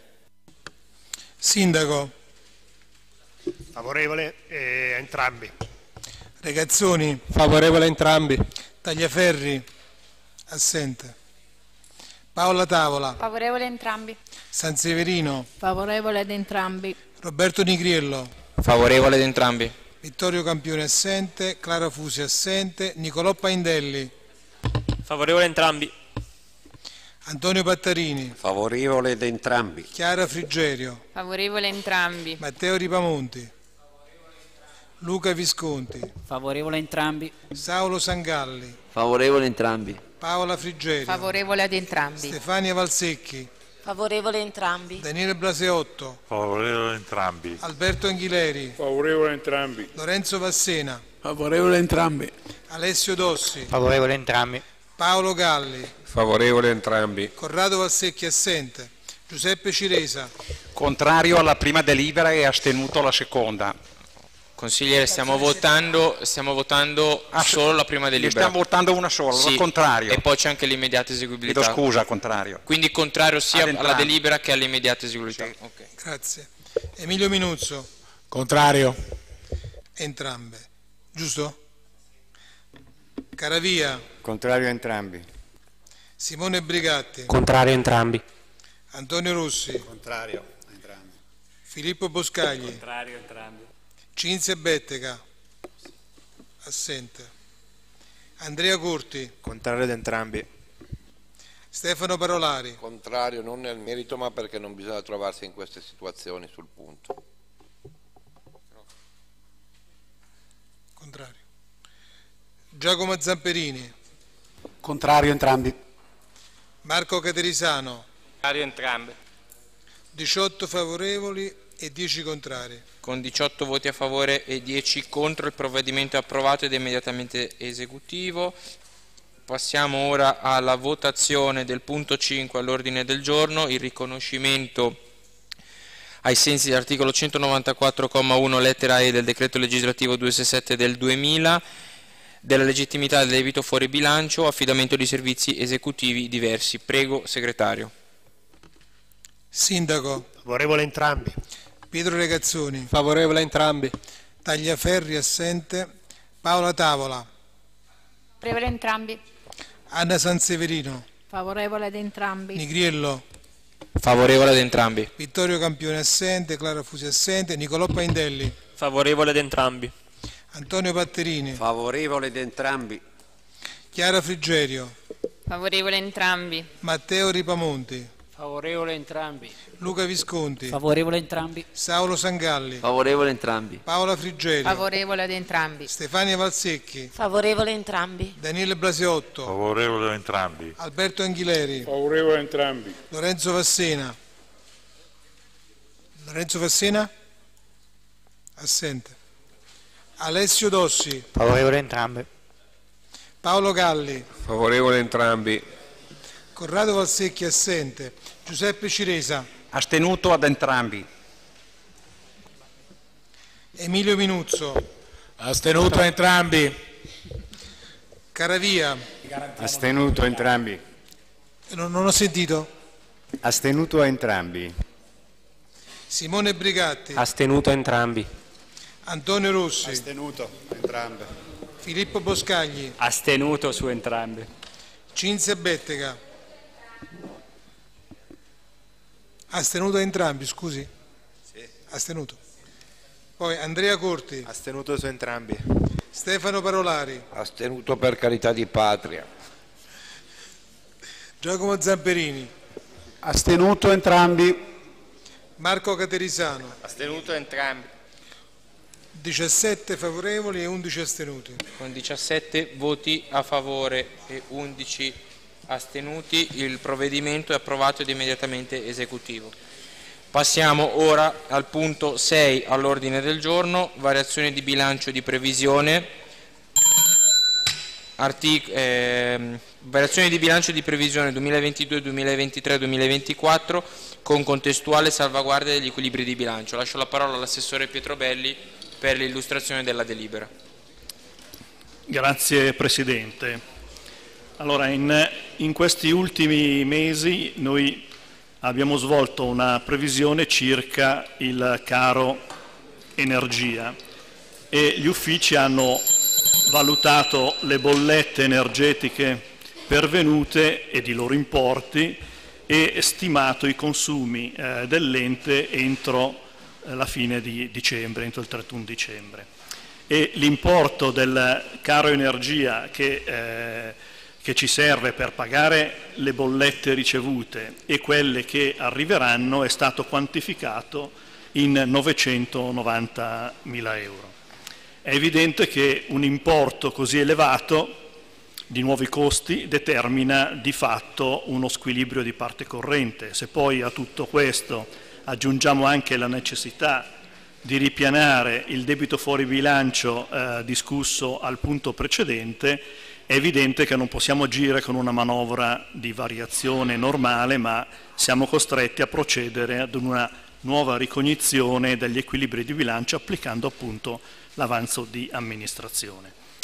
Le previsioni di eh, maggior spesa a causa del rincaso energetico di 990 mila euro, di cui 600 mila euro per illuminazione pubblica e 390 mila euro invece per il riscaldamento, vengono finanziate con avanzo di amministrazione non vincolato, eh, così come previsto dall'articolo 187 del decreto legge 267 e quindi così viene fatto. complessivamente l'avanzo utilizzato per la parte corrente ammonta a 1.099.000 euro, di cui 990.000 euro per il caro energia e 109.900 euro per quel eh, finanzi eh, sì, finanziamento fuori bilancio che abbiamo approvato prima.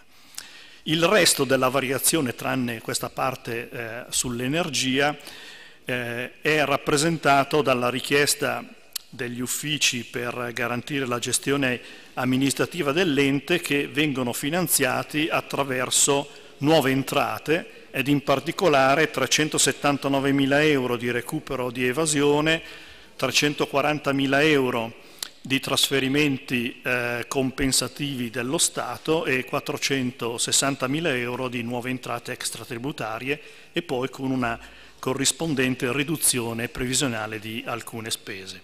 Per quanto riguarda invece il conto capitale, le variazioni riguardano l'altra faccia del problema del caro energia, e cioè la richiesta di revisione prezzi dovuta appunto ai rincari energetici e delle materie prime. Una revisione prezzi che, eh, di circa 500 mila euro adottata in questa variazione, di cui eh, 388.000 solo per la piccola velocità, per, con questa poi si riesce quindi a presentare il progetto esecutivo, eh, per cui è già la seconda eh, revisione prezzi eh, che stiamo facendo. A questo si aggiungono gli interventi di adeguamento del palazzetto del Bione di 180.000 euro necessari anche per ospitare il nuovo campionato della, della Picco. Il resto della manovra eh, del conto capitale riguarda il riposizionamento del contributo PNRR di 1.222.000 euro per acquisto di bus elettrici che finanzia il 2022 per 561.000 euro, il resto viene mandato negli esercizi futuri, così come per andare poi a rimpinguare il 2023 e 2024 assommando a 5 milioni e 51.000 euro nel 2023 e 687.000 euro, euro nel 2024. Eh, complessivamente noi utilizziamo 799 mila euro di avanzo di amministrazione per finanziare appunto le spese in conto capitale che aggiunto a quelle in di parte corrente fanno un utilizzo di 1 milione 800 mila euro circa per questa variazione. Grazie dell'attenzione. Grazie Assessore, chiusa la fase dell'illustrazione, apro la fase del dibattito. Consigliere Zamperini, prego. Grazie Presidente. La sottolineatura che, che mi permetto di fare è che paghiamo un milione di, di euro in più per, per, il caro bollette. Questa è una situazione che ovviamente il Comune eh, subisce, ma che subiscono anche tutti i cittadini di questo Comune. Assieme a Peppino Cireso ho partecipato per esempio a una manifestazione eh, dei panificatori che erano disperati e sono disperati perché eh, arrivano alla, al, al, limite di non riuscire più a fare il pane perché dicono o lo facciamo e lo vendiamo a 10 euro al chilo oppure non ci conviene più metterci a fare il pane. Quindi è una situazione davvero eh, eh devastante. Ora vorrei andare un po' oltre però le, le, le, i numeri del bilancio, nel senso che mi chiedo se questa amministrazione, Assessore Pietrobelli, ha pensato eh, come fare a proteggersi da ulteriori rincari, perché la situazione non sta eh, finendo dal punto di vista dell'emergenza. Eh, sappiamo che forse il gas oggi scende, però eh, dobbiamo capire se questa, questa, eh, diciamo, eh, questo prezzo dei mercati poi eh, produrrà immediatamente un calo delle bollette? Probabilmente no. Quindi bisogna capire come fare a tutelare sia il comune che, che i cittadini.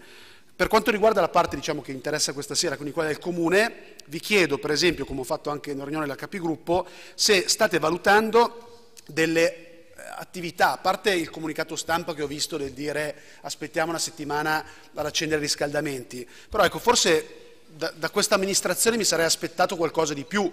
Ho visto che c'è un progetto, una, una, proposta per le comunità energetiche, forse un po' tardiva, eh, Assessore Zuffi, eh, però ecco, che cosa sta facendo questa amministrazione per combattere, contrastare questi rincari? Perché un milione di euro quest'anno, una variazione di bilancio così all'ultimo, siamo riusciti grazie anche all'abilità dell'assessore Pietro Belli, di farli saltare fuori in qualche modo. Ma non è che sono soldi che arrivano gratis, cioè da una parte devi trovare i soldi per pagare le bollette in più, dall'altra devi tagliare eh, da qualche parte. Quindi io ecco, l'ho detto anche in commissione, non mi è chiarissimo dove sono stati tagliati questi, questi soldi, se sono stati trovati sol- semplicemente dall'avanzo di bilancio oppure se eh, se qualche servizio, sì però Assessore anche se so, fossero stati trovati dall'avanzo di bilancio, va bene, comunque sono soldi che non possono essere utilizzati per fare qualcos'altro, quindi è un problema questo. No? Eh, io vi chiedo cosa state facendo e cosa avete intenzione di fare per eh, limitare il più possibile questi rincari, perché davvero ehm, sono le cose magari dirette che, che, che ogni cittadino si trova ad affrontare, però magari un cittadino combatte per i 50 euro, i 100 euro, i 200 euro in più, un commerciante per qualcosina direi in più, guardo eh, scherzosamente ma non troppo purtroppo il, il, collega Ciresa e il comune di Lecco si trova un milione di euro in più e quindi cosa vogliamo fare? Ci sono delle possibilità di risparmio dal punto di vista energetico che questa amministrazione sta portando avanti, delle proposte? Ecco, io su questo sento ancora molto silenzio. Eh, secondo me bisognerebbe fare qualcosa, eh, qualcosa in più perché il, il, posticipare di una settimana il, il, riscaldamento non è sufficiente. Ci sono per esempio le possibilità di chiedere ehm, deroghe per quanto riguarda le stufe e i camini da utilizzare. Ecco, anche qua vedete c'è un problema di eh, opportunità. Da una parte si riaprono le centrali a carbone, dall'altra si fa ancora divieto ai cittadini lecchesi di utilizzare la legna per riscaldarsi. È una contraddizione eh, eh, eh, incredibile nei termini, non sto dando la colpa al comune di Lecco e basta, però c'è qualcuno che sostiene che in questo momento, qualcuno che sostiene ancora che in questo momento sia più importante evitare che ci siano emissioni eh, sopra la norma di perché bruciando la legna si inquina di più rispetto a dare la possibilità a una famiglia che magari davvero non ne ha altre di, eh, di riscaldarsi. Allora dovete fare un'analisi e una valutazione, oltre il fatto che se permettessimo di andare a prendere la legna nei boschi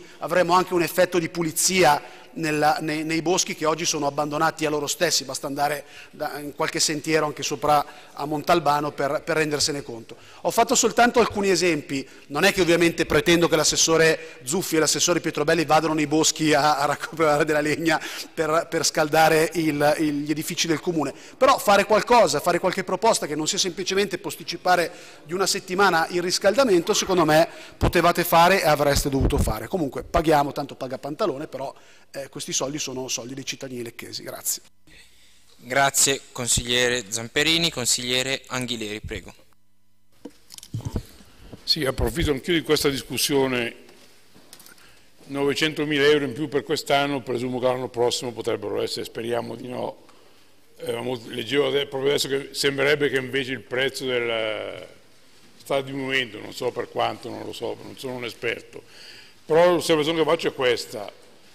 Alcune cose possiamo fare come comune, molto, alcune cose le abbiamo già fatte per le famiglie, soprattutto i ceti più deboli che hanno più bisogno con dei contributi che stiamo dando, sono importanti, bisogna fare un passo in più. Io lo dico come ragionamento a voce alta che vale per me e vale per tutti. Noi siamo proprietari, tra virgolette, di alcune aziende che erogano, erogano questi servizi. Si chiamava Acel, adesso si chiama A5.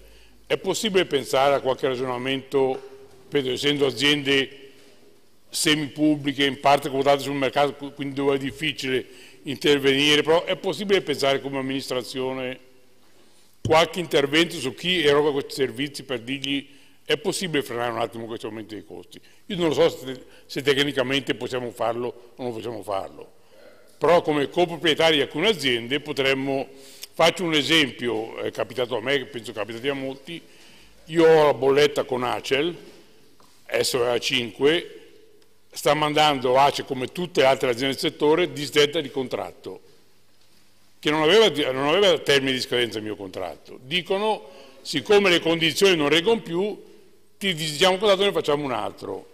Leggo che ci sono già delle cause, eccetera, eccetera, io non tocca al comune farle, però è possibile chiedere alle nostre, nostre aziende molta più attenzione su queste partite, perché lo ripeto, come comune in un modo o nell'altro, siccome il riscaldamento nelle scuole dobbiamo garantirlo, le risorse vanno trovate.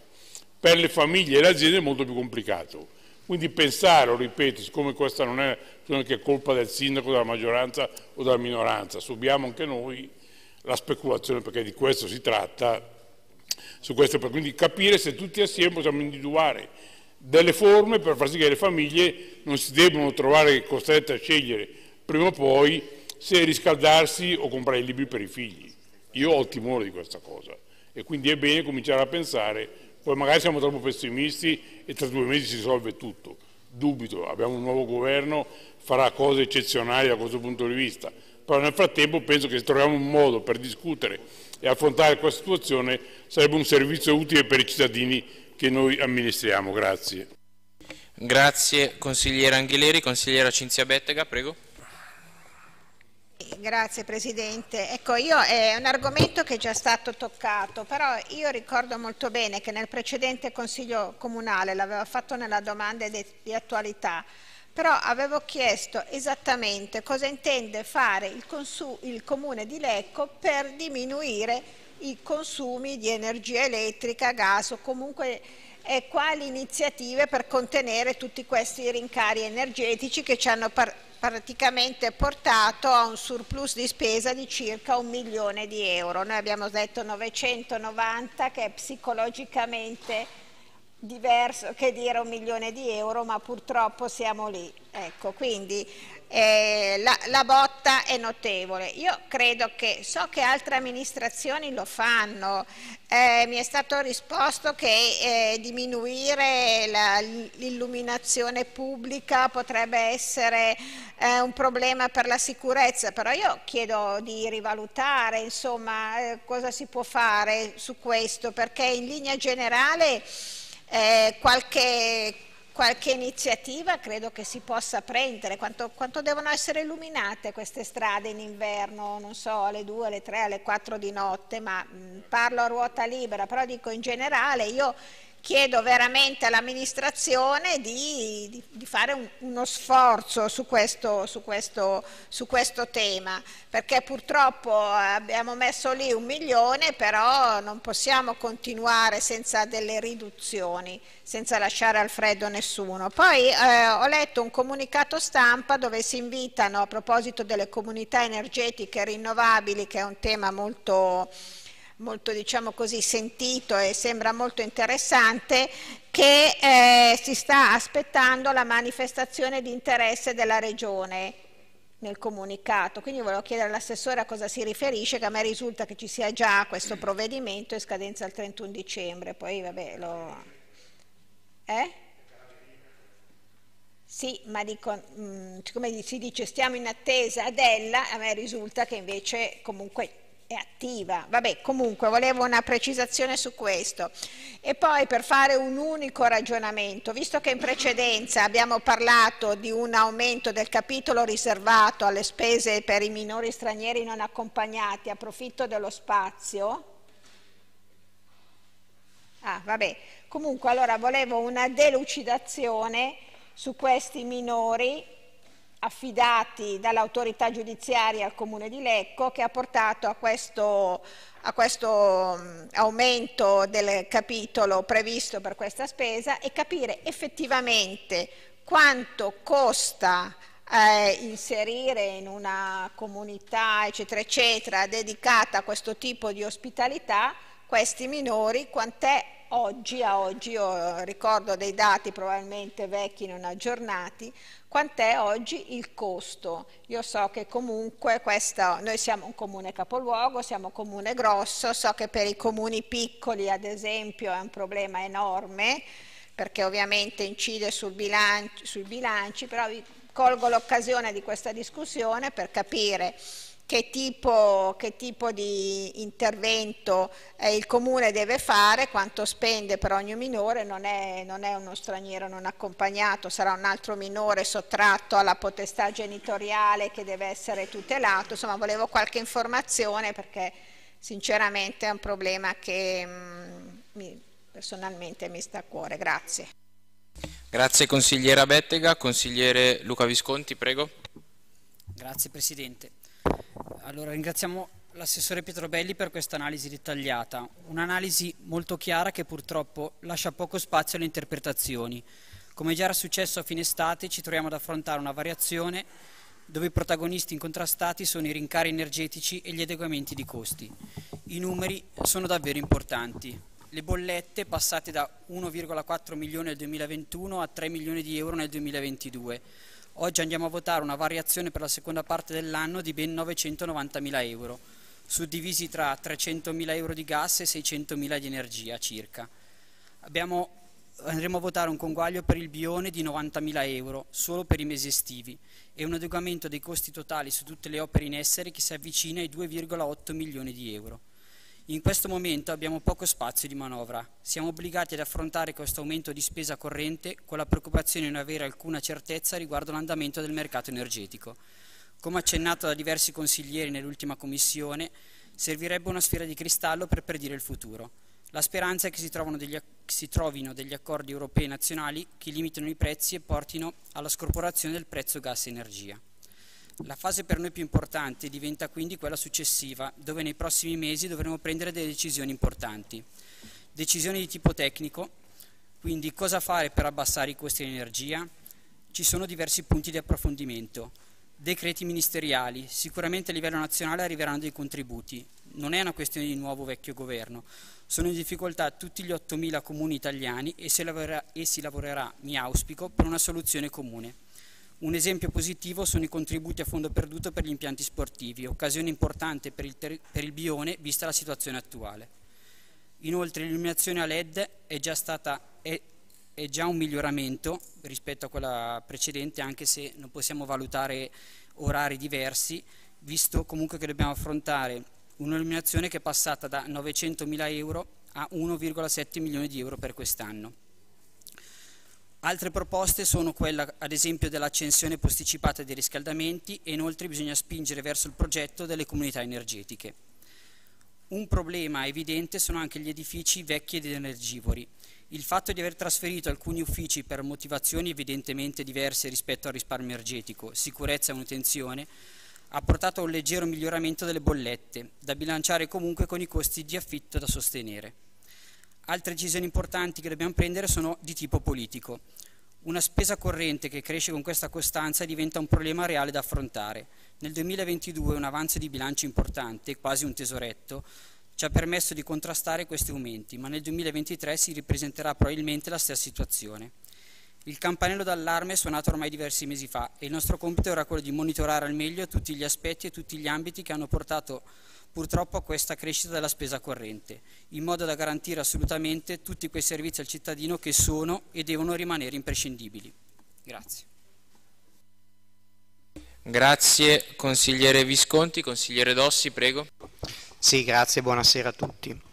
Ma allora io ehm, ho sentito parlare di focolari accesi e, e, insomma minestre che bollono sul, sul, fuoco, cioè non riesco veramente a capire. Eh, da un lato noi ci troviamo in una situazione energeticamente devastante, la risposta che noi proviamo a costruire per rispondere a una problematica di questo tipo è ritornare al Medioevo. Allora, ehm, parlo ovviamente a livello governativo, dove tra l'altro chi eh, a geometria variabile diciamo, sul territorio prova di tanto in tanto a lisciare il pelo a qualche associazione ambientalista, gli deve spiegare come mai appena va al governo toglie, cancella, elimina, fa sparire il Ministero della Transizione Ecologica, lo trasforma nel vecchio e caro Ministero dell'Ambiente, quello, sai, quella roba lì che mettevi al dodicesimo punto del programma perché tanto in qualche modo dobbiamo farlo, e eh, chiusa, morta lì. Attenzione perché ne risponderete con la storia di questa cosa, perché io penso che questa cosa della transizione ecologica non sia un problema politico, è un problema scientifico e questa cosa voi dovete capirla fino in fondo, soprattutto quando andate appunto a lisciare il pelo se volete essere o provare ad essere credibili. Chiuso questo, ehm, questa riflessione, io penso che ben bene abbiamo fatto eh, a stanziare delle risorse importanti su una situazione energetica, energetica emergenziale, e quindi è bene che ci siano queste risorse perché la situazione è effettivamente drammatica. Su quanto veniva detto sull'opportunità che io condivido di verificare se ci sono le condizioni perché il Comune possa farsi attore eh, attivo da questo punto di vista rispetto a processi di investimento sul tema delle eh, fonti energetiche alternative di cui abbiamo estremamente bisogno, io penso che insomma, si, stia già, si, stiano già facendo delle cose. Si sta lavorando sul tema delle comunità energetiche che anche qua sono ben contento che tutti abbiano scoperto cosa sono, ne parlavamo da tempo e eh, questa è una soluzione come dire, veramente iniziale, nel senso che siamo ad una fase di costruzione di quello che è un tema importante, però ehm, è un punto di partenza importante. Se c'è da discutere, da confrontarsi con le società partecipate, certamente questo è un tema fondamentale, certamente questo è un tema fondamentale perché sarà sempre comunque più localizzata la produzione eh, energetica invece che centralizzata. Quindi da questo punto di vista noi dobbiamo farci soggetto attivo nella costruzione di soluzioni alternative. E eh, penso anche che eh, visto che probabilmente dal governo non si andrà in questa direzione, a maggior ragione i territori hanno una responsabilità da questo punto di vista di costruire in maniera locale, visto che l'energia sempre più locale sarà, la produzione di energia sempre più locale sarà avere un ruolo importante da questo punto di vista.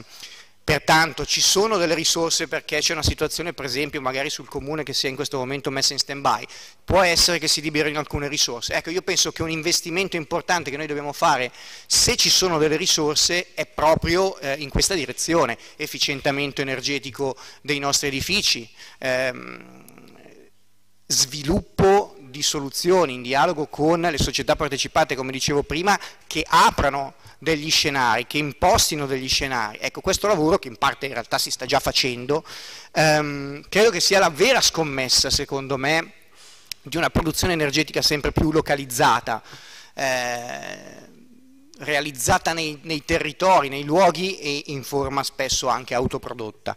Eh, questa cosa che tre anni fa avessi detta risultava naive, ambientalista, ecologista, eh, disfattista. Oggi penso che sia chiara per tutti, non fosse altro perché eh, rende evidente quanto noi siamo tuttora, perché non abbiamo fatte queste cose negli anni passati dipendenti da qualcun altro in termini energetici e dunque completamente soggiogati da un punto di vista politico e geopolitico da situazioni esterne a noi rispetto alle quali noi oggi ci troviamo a ricorrere al carbone, al fuoco, alla zuppa. Ecco, questa cosa noi dobbiamo renderci conto che sta dentro degli errori passati di cui noi portiamo, cioè di, di chi ha preso delle scelte porta la responsabilità.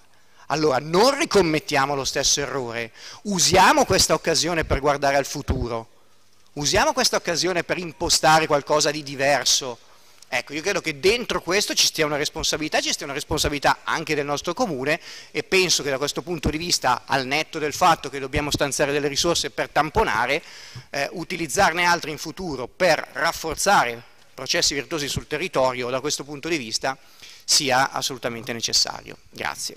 Grazie consigliere Dossi. Consigliere Parolari, prego dopo questa lezione di filosofia castroambientalista.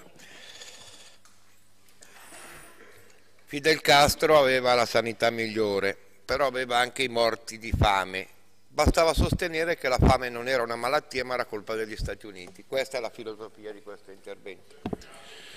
Però detto questo, io credo che per fortuna forse si sta sgonfiando la bolla olandese e tedesca dei prezzi non russa, la speculazione è Norvegia, Olanda, Germania, Europa del Nord. Si sa da qualche anno, da qualche mese, poi hanno insegnato a, a Putin a, a manipolare il mercato come uno che gli mette la bomba atomica in mano, perché noi siamo intelligenti. Detto questo, credo che sia necessario Visto le risorse che andiamo a mettere, Assessore, scusate, eh, noi oggi, noi abbiamo iniziato il mese d'ottobre con il gas a 165 euro megawattora, lo chiudiamo oggi con il gas a 27 euro a megawattora, con punte anche inferiori al suo valore reale. C'è un valore di mercato delle cose e un valore delle cose. Il valore delle cose di solito non è il valore di mercato anche se non sono comunista queste cose le capisco. Quindi eh, uno vorrei capire che tipi di contratti sono stati fatti, perché fino adesso avevamo, come mi diceva il funzionario, sull'energia elettrica un prezzo fisso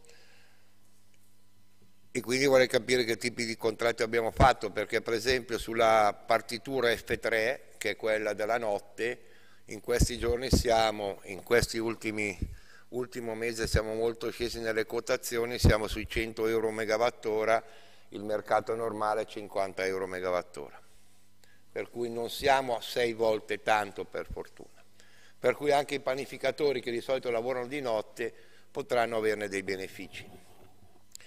Credo che dobbiamo gestire questa situazione giorno per giorno e si possono fare gli indici per quello che chiedo i contratti e i tipi, eh, non è per per curiosità di trasparenza ma per curiosità tecnica perché eh, il livello di eh, intossicazione dei mercati è molto elevato con eh, sbalzi di quotazioni che possono portare a un milione di euro ma non, non vorrei trovarmi al 31 dicembre vorrei trovarmi, magari avendo una spesa solo 400 mila di questo milione di euro, poi avere incagliati 600 mila euro nel prossimo bilancio nel prossimo uh, avanzo di amministrazione, per cui credo che qua ci voglia una gestione momento a momento, noi possiamo arrivare certamente a capire ottobre, a capire novembre quanto spendiamo, si prevedono queste cose.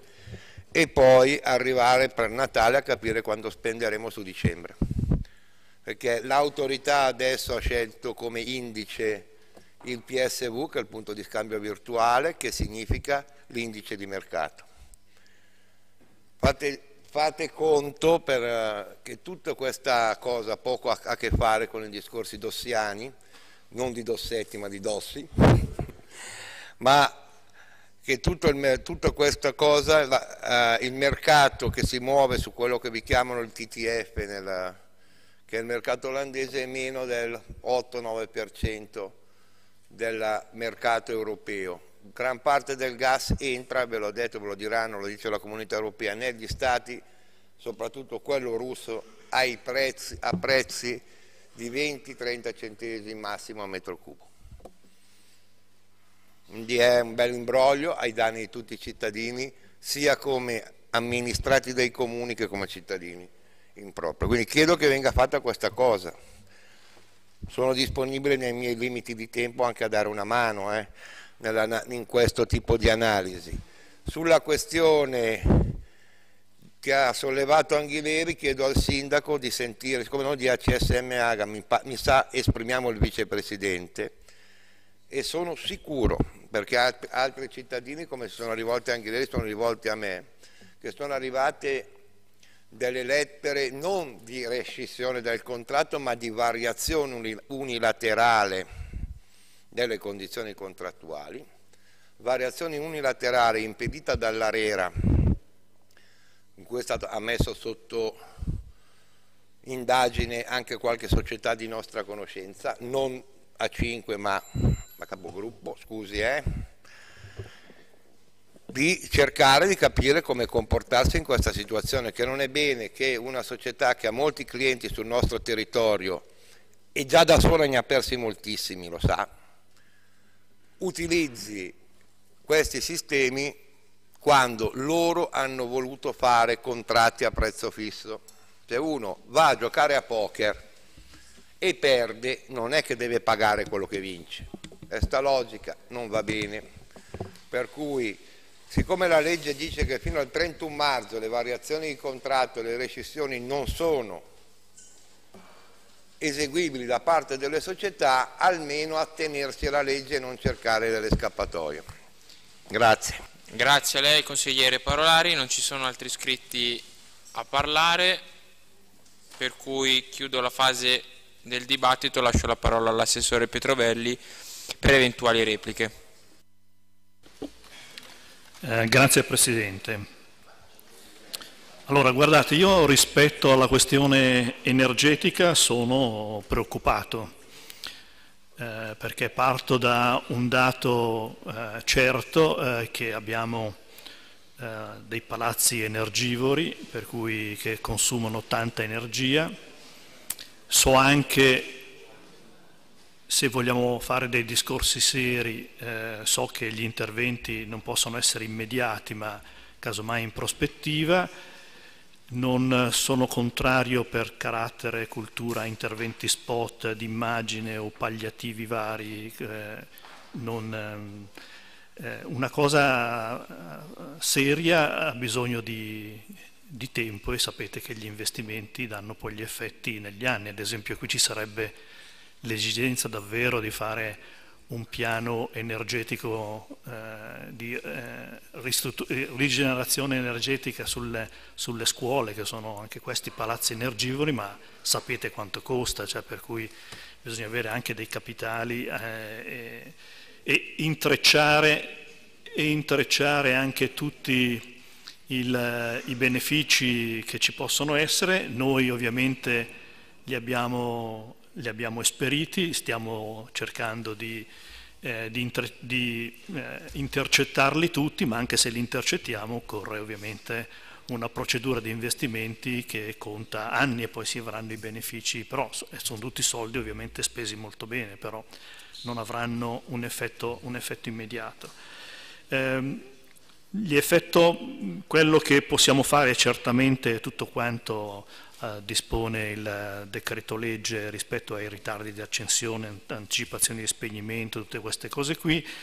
Il, per fortuna l'illuminazione pubblica è già stata quasi, ha sostituito tutte le luci eh, la, con luci LED per cui hanno un consumo eh, più basso.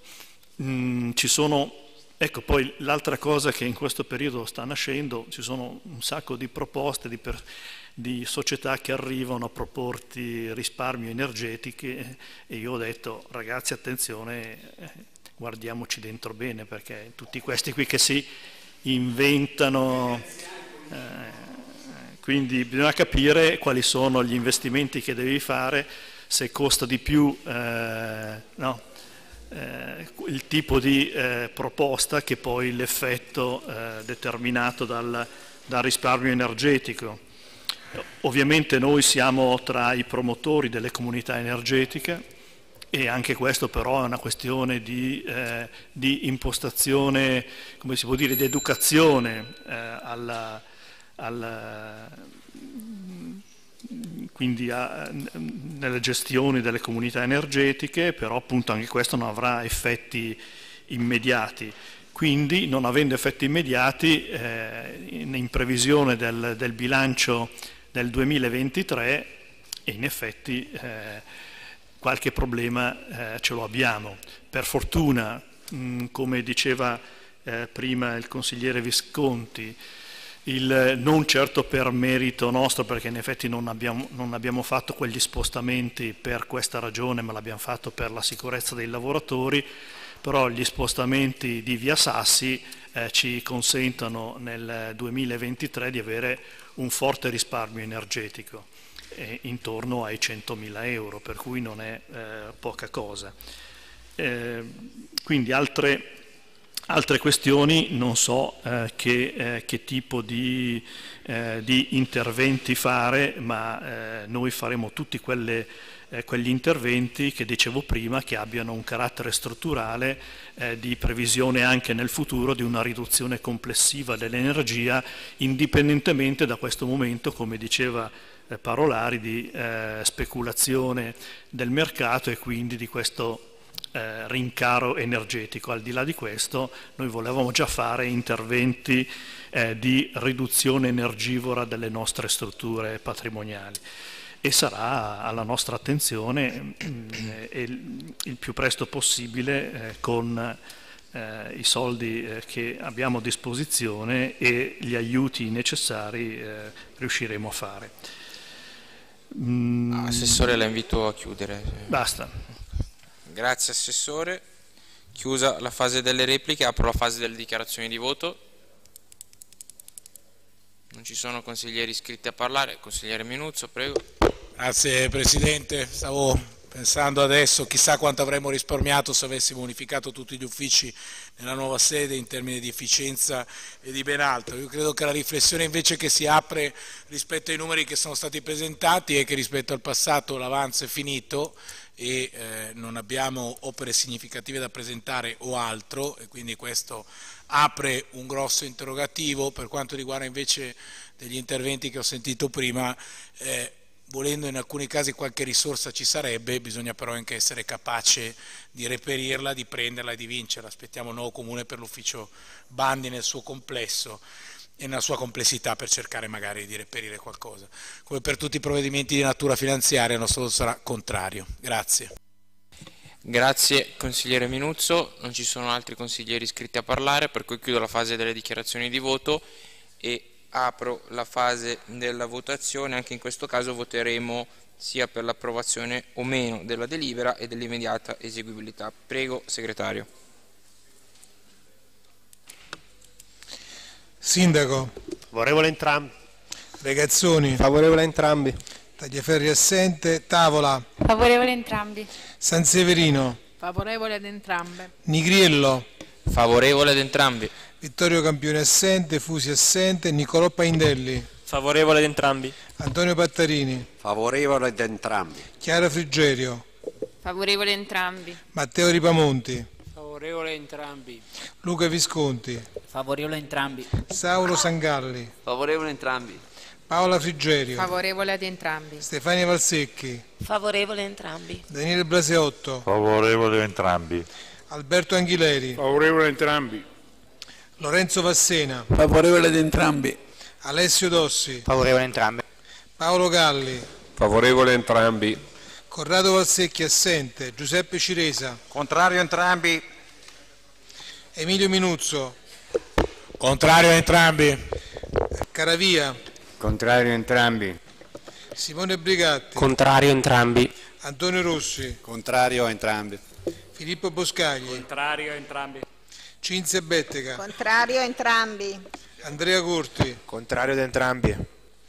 Stefano Parolari, Contrario entrambi. Giacomo Zamperini, Contrario ad entrambi. Marco Caterisano, Contrario entrambe. 18 favorevoli e 11 contrari anche per l'immediata eseguibilità. Con 18 voti a favore e 11 contro, provvedimento approvato ed immediatamente esecutivo. Passiamo ora al punto 7 all'ordine del giorno, regolamento sui controlli interni. Lascio la parola al signor Sindaco per l'illustrazione della delibera. Prego, signor Sindaco. Buonasera, faccio una breve introduzione e poi alcune slide stanno ben sotto i, i 10 minuti. Si tratta sostanzialmente della revisione di un regolamento interno che apparentemente sembra parlare di burocrazia pura. In realtà mette in fila alcuni processi in modo da rendere effettivamente efficaci tutti i sistemi di controllo in essere nel comune di Lecco. Sistemi di controllo che sono un dovere per l'amministrazione farli, quindi non è un qualcosa in più, ma eh, tutti gli atti, sia quando vengono prodotti dall'amministrazione, sia quando vengono eh, inoltrati dai cittadini, ad esempio sotto forma di autocertificazione, devono essere controllati, altrimenti quello che si produce sono atti in, eh, irregolari con tutte le conseguenze del caso. Il sistema dei controlli eh, riguarda eh, diversi soggetti, il segretario generale, l'area finanziaria, i dirigenti, i revisori dei conti, il nucleo di valutazione e riguardano sostanzialmente sette fattispecie, il controllo di regolarità amministrativa e contabile, il controllo sugli equilibri economico-finanziari, quello sul controllo di gestione, il controllo strate- strategico, il controllo sugli organismi gestionali esterni, le partecipate, il controllo sulla qualità dei servizi erogati e infine eh, il controllo sull'attuazione delle misure di contrasto alla corruzione e allo sviluppo della trasparenza. Eh, come vedete mh, spesso questi, è facile intuire che tutti questi ambiti sono molto intrecciati l'uno nell'altro, pertanto la prospettiva con cui si è reimpostato il sistema del, mh, del controllo di gestione e soprattutto il processo dei controlli interni ha seguito eh, alcune filosofie che mi preme illustrarvi e non già gli articoli singoli e dispositivi eh, perché quelli sarebbero evidentemente abbastanza abbastanza eh, tecnici. Innanzitutto eh, il concetto principale è passare eh, dal controllo a posteriori degli atti già avvenuti al controllo concomitante, cioè il meccanismo di controllo che avviene mentre si producono gli atti. Attualmente l'attuale assetto dei controlli interni eh, riguarda eh, ovviamente la qualità di redazione degli atti, la conformità agli schemi ministeriali o agli schemi eh, comunali e i termini, cioè le scadenze dei procedimenti. Questo sistema eh, di controllo attuale attiva eh, processi di autoapprendimento, cioè noi sappiamo se gli atti prodotti sono meno conformi mediante analisi a posteriori, quindi a campione vengono eh, sondati gli atti prodotti nel semestre precedente da parte del nucleo di valutazione e poi ci dicono eh, sì, questo era conforme, questo non lo era, eh, però intanto l'atto è stato fatto, eh, alcuni magari hanno adottato anche delle eh, misure conseguenti a quell'atto che poi eh, difficilmente diventano reversibili e di conseguenza anche la misura di controllo benché burocraticamente attuata, diventa inefficace ai fini della verità dell'atto medesimo. Pertanto eh, la eh, proposta e quindi l'intreccio delle normative che andiamo a regolamentare propone il controllo concomitante, cioè che mentre si costruisce l'atto, mentre si compone l'atto, che è complesso perché ha una parte tecnica dispositiva, una parte giuridica e una parte economica, ecco, mentre l'atto si produce avvengano eh, questi tipi di controllo. E come è possibile eh, che ciò avvenga? Sostanzialmente eh, attraverso la condivisione di alcuni dati che vengono integrati, ad esempio le, le banca dati, le lista, la lista dei fornitori, la rotazione degli appalti, il controllo sui costi e ancora il controllo su autocertificazioni e conflitti di interessi vengono e verrebbero fatti, se approviamo il regolamento questa sera, in maniera concomitante man mano che l'atto viene prodotto dagli uffici. Ugualmente il controllo sugli enti controllati, scusate il gioco di parole, ai partecipati, ehm, benché ovviamente avviene secondo la prassi e secondo tutti gli, eh, i meccanismi di controllo analogo, può essere rafforzato soprattutto per gli effetti finanziari, cioè eh, le eventuali spese di amministrazione, le spese per il personale e in generale anche per le ripercussioni a breve e medio termine che gli atti adottati da quelle controllate o partecipate possono riverberare su noi che siamo il controllante. L'ultimo elemento eh, di concetto che ho, eh, mi piace, è opportuno eh, condividere riguarda invece il controllo finanziario e di gestione. Eh, traduco il solito DUP, il PEG e eh, le conformità che i vari organismi di controllo devono eh, attribuire all'avanzamento appunto strategico per quanto riguarda la gestione o finanziario per quanto riguarda l'implementazione, eh, di fatto eh, possono, potranno essere recepiti all'interno delle stesse delibere senza che vengano replicati di volta in volta nella delibera, quindi c'è semplicemente un richiamo e non l'esposizione. Questo eh, per, per, semplicità di esposizione ma anche eh, per sintesi e per focalizzazione esatta di dove va a parare l'atto che si va a produrre. L'ultimo aspetto riguarda proprio l'efficacia eh, più un controllo gestionale che viene spostato dalle singole azioni o compiti agli obiettivi attesi.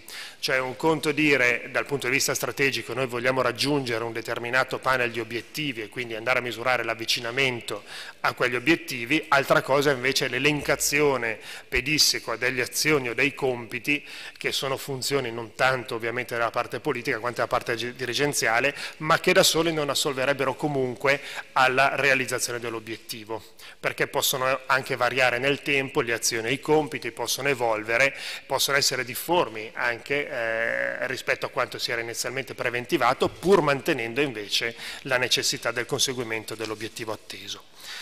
Ecco, questa erano eh, in estrema sintesi eh, la filosofia che permea il, eh, il, nuovo regolamento per i controlli interni eh, che è già stato illustrato in, eh, in capigruppo e che eh, avete avuto agli atti. Nei dettagli eh, ovviamente dei 12 articoli in cui si, si sviluppa possiamo entrare ovviamente con la consulenza dei, dei tecnici presenti in aula se da voi richiesto. Grazie. Grazie signor Sindaco chiusa la fase dell'illustrazione della delibera, apro quella del dibattito. Non vedo consiglieri iscritti a parlare, per cui chiudo la fase del dibattito, apro la fase delle dichiarazioni di voto. Non essendoci consiglieri iscritti a parlare, lascio la parola al signor segretario per la votazione che in questo caso prevede solo la votazione eh, sull'approvazione o meno della, della delibera. Sindaco. Favorevole. Pietro Regazzoni. Favorevole. Tagliaferri assente. Paolo Tavola. Favorevole. Anna Sanseverino. Favorevole. Nigriello. Favorevole. Campione assente. Fusi assente. Paindelli. Favorevole. Pattarini. Favorevole. Chiara Frigerio. Favorevole. Matteo Ripamonti. Favorevole. Luca Visconti. Favorevole. Saulo Sangalli. Favorevole. Paola Frigerio. Favorevole. Stefania Valsecchi. Favorevole. Daniele Blaseotto. Favorevole. Alberto Anghileri. Favorevole. Lorenzo Vassena. Favorevole. Alessio Dossi. Favorevole. Paolo Galli. Favorevole. Corrado Valsecchi assente, Giuseppe Ciresa. Favorevole. Emilio Minuzzo. Favorevole. Caravia. Favorevole. Brigatti. Favorevole. Antonio Rossi. Favorevole. Boscagli. Favorevole. Pettega. Favorevole. Corti. Favorevole. Parolari. Favorevole. Zamperini. Favorevole. Caterisano. Favorevole. 29 favorevoli. Con l'unanimità il provvedimento è approvato, per cui passiamo ora al punto 8 all'ordine del giorno. Mozione presentata dai consiglieri Regazzoni, Ripamonte, Anghileri e Dossi, avente ad oggetto viabilità e raccordo tra il nuovo svincolo del Bione e il nuovo ponte tra Lecco e Pescate. Lascio la parola ai proponenti per l'illustrazione del punto. Chiedo, ah, il consigliere Regazzoni vedo che interverrà lei, quindi le lascio la parola, prego. Sì, grazie, grazie Presidente. Abbiamo eh, iniziato questo percorso eh, come maggioranza e come minoranza su un tema eh, che ci aveva già trovato concordi un anno fa, ossia la doppia corsia del, del quarto ponte. Eh, e quindi abbiamo eh, deciso perlomeno di iniziare a scrivere eh, una mozione che abbiamo detto sin da subito essere unitaria perché rappresentava appunto gli interessi di tutto questo Consiglio Comunale.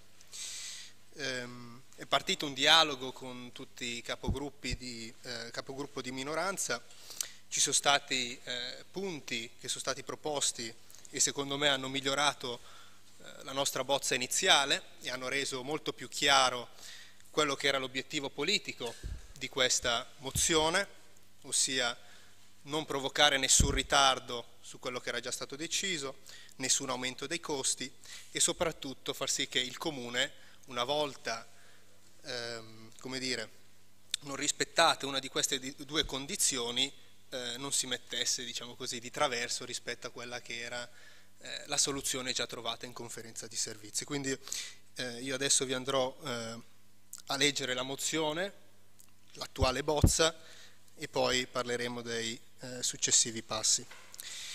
L'oggetto è viabilità e raccordo tra il nuovo svincolo Bione e il nuovo ponte tra Lecco e Pescate.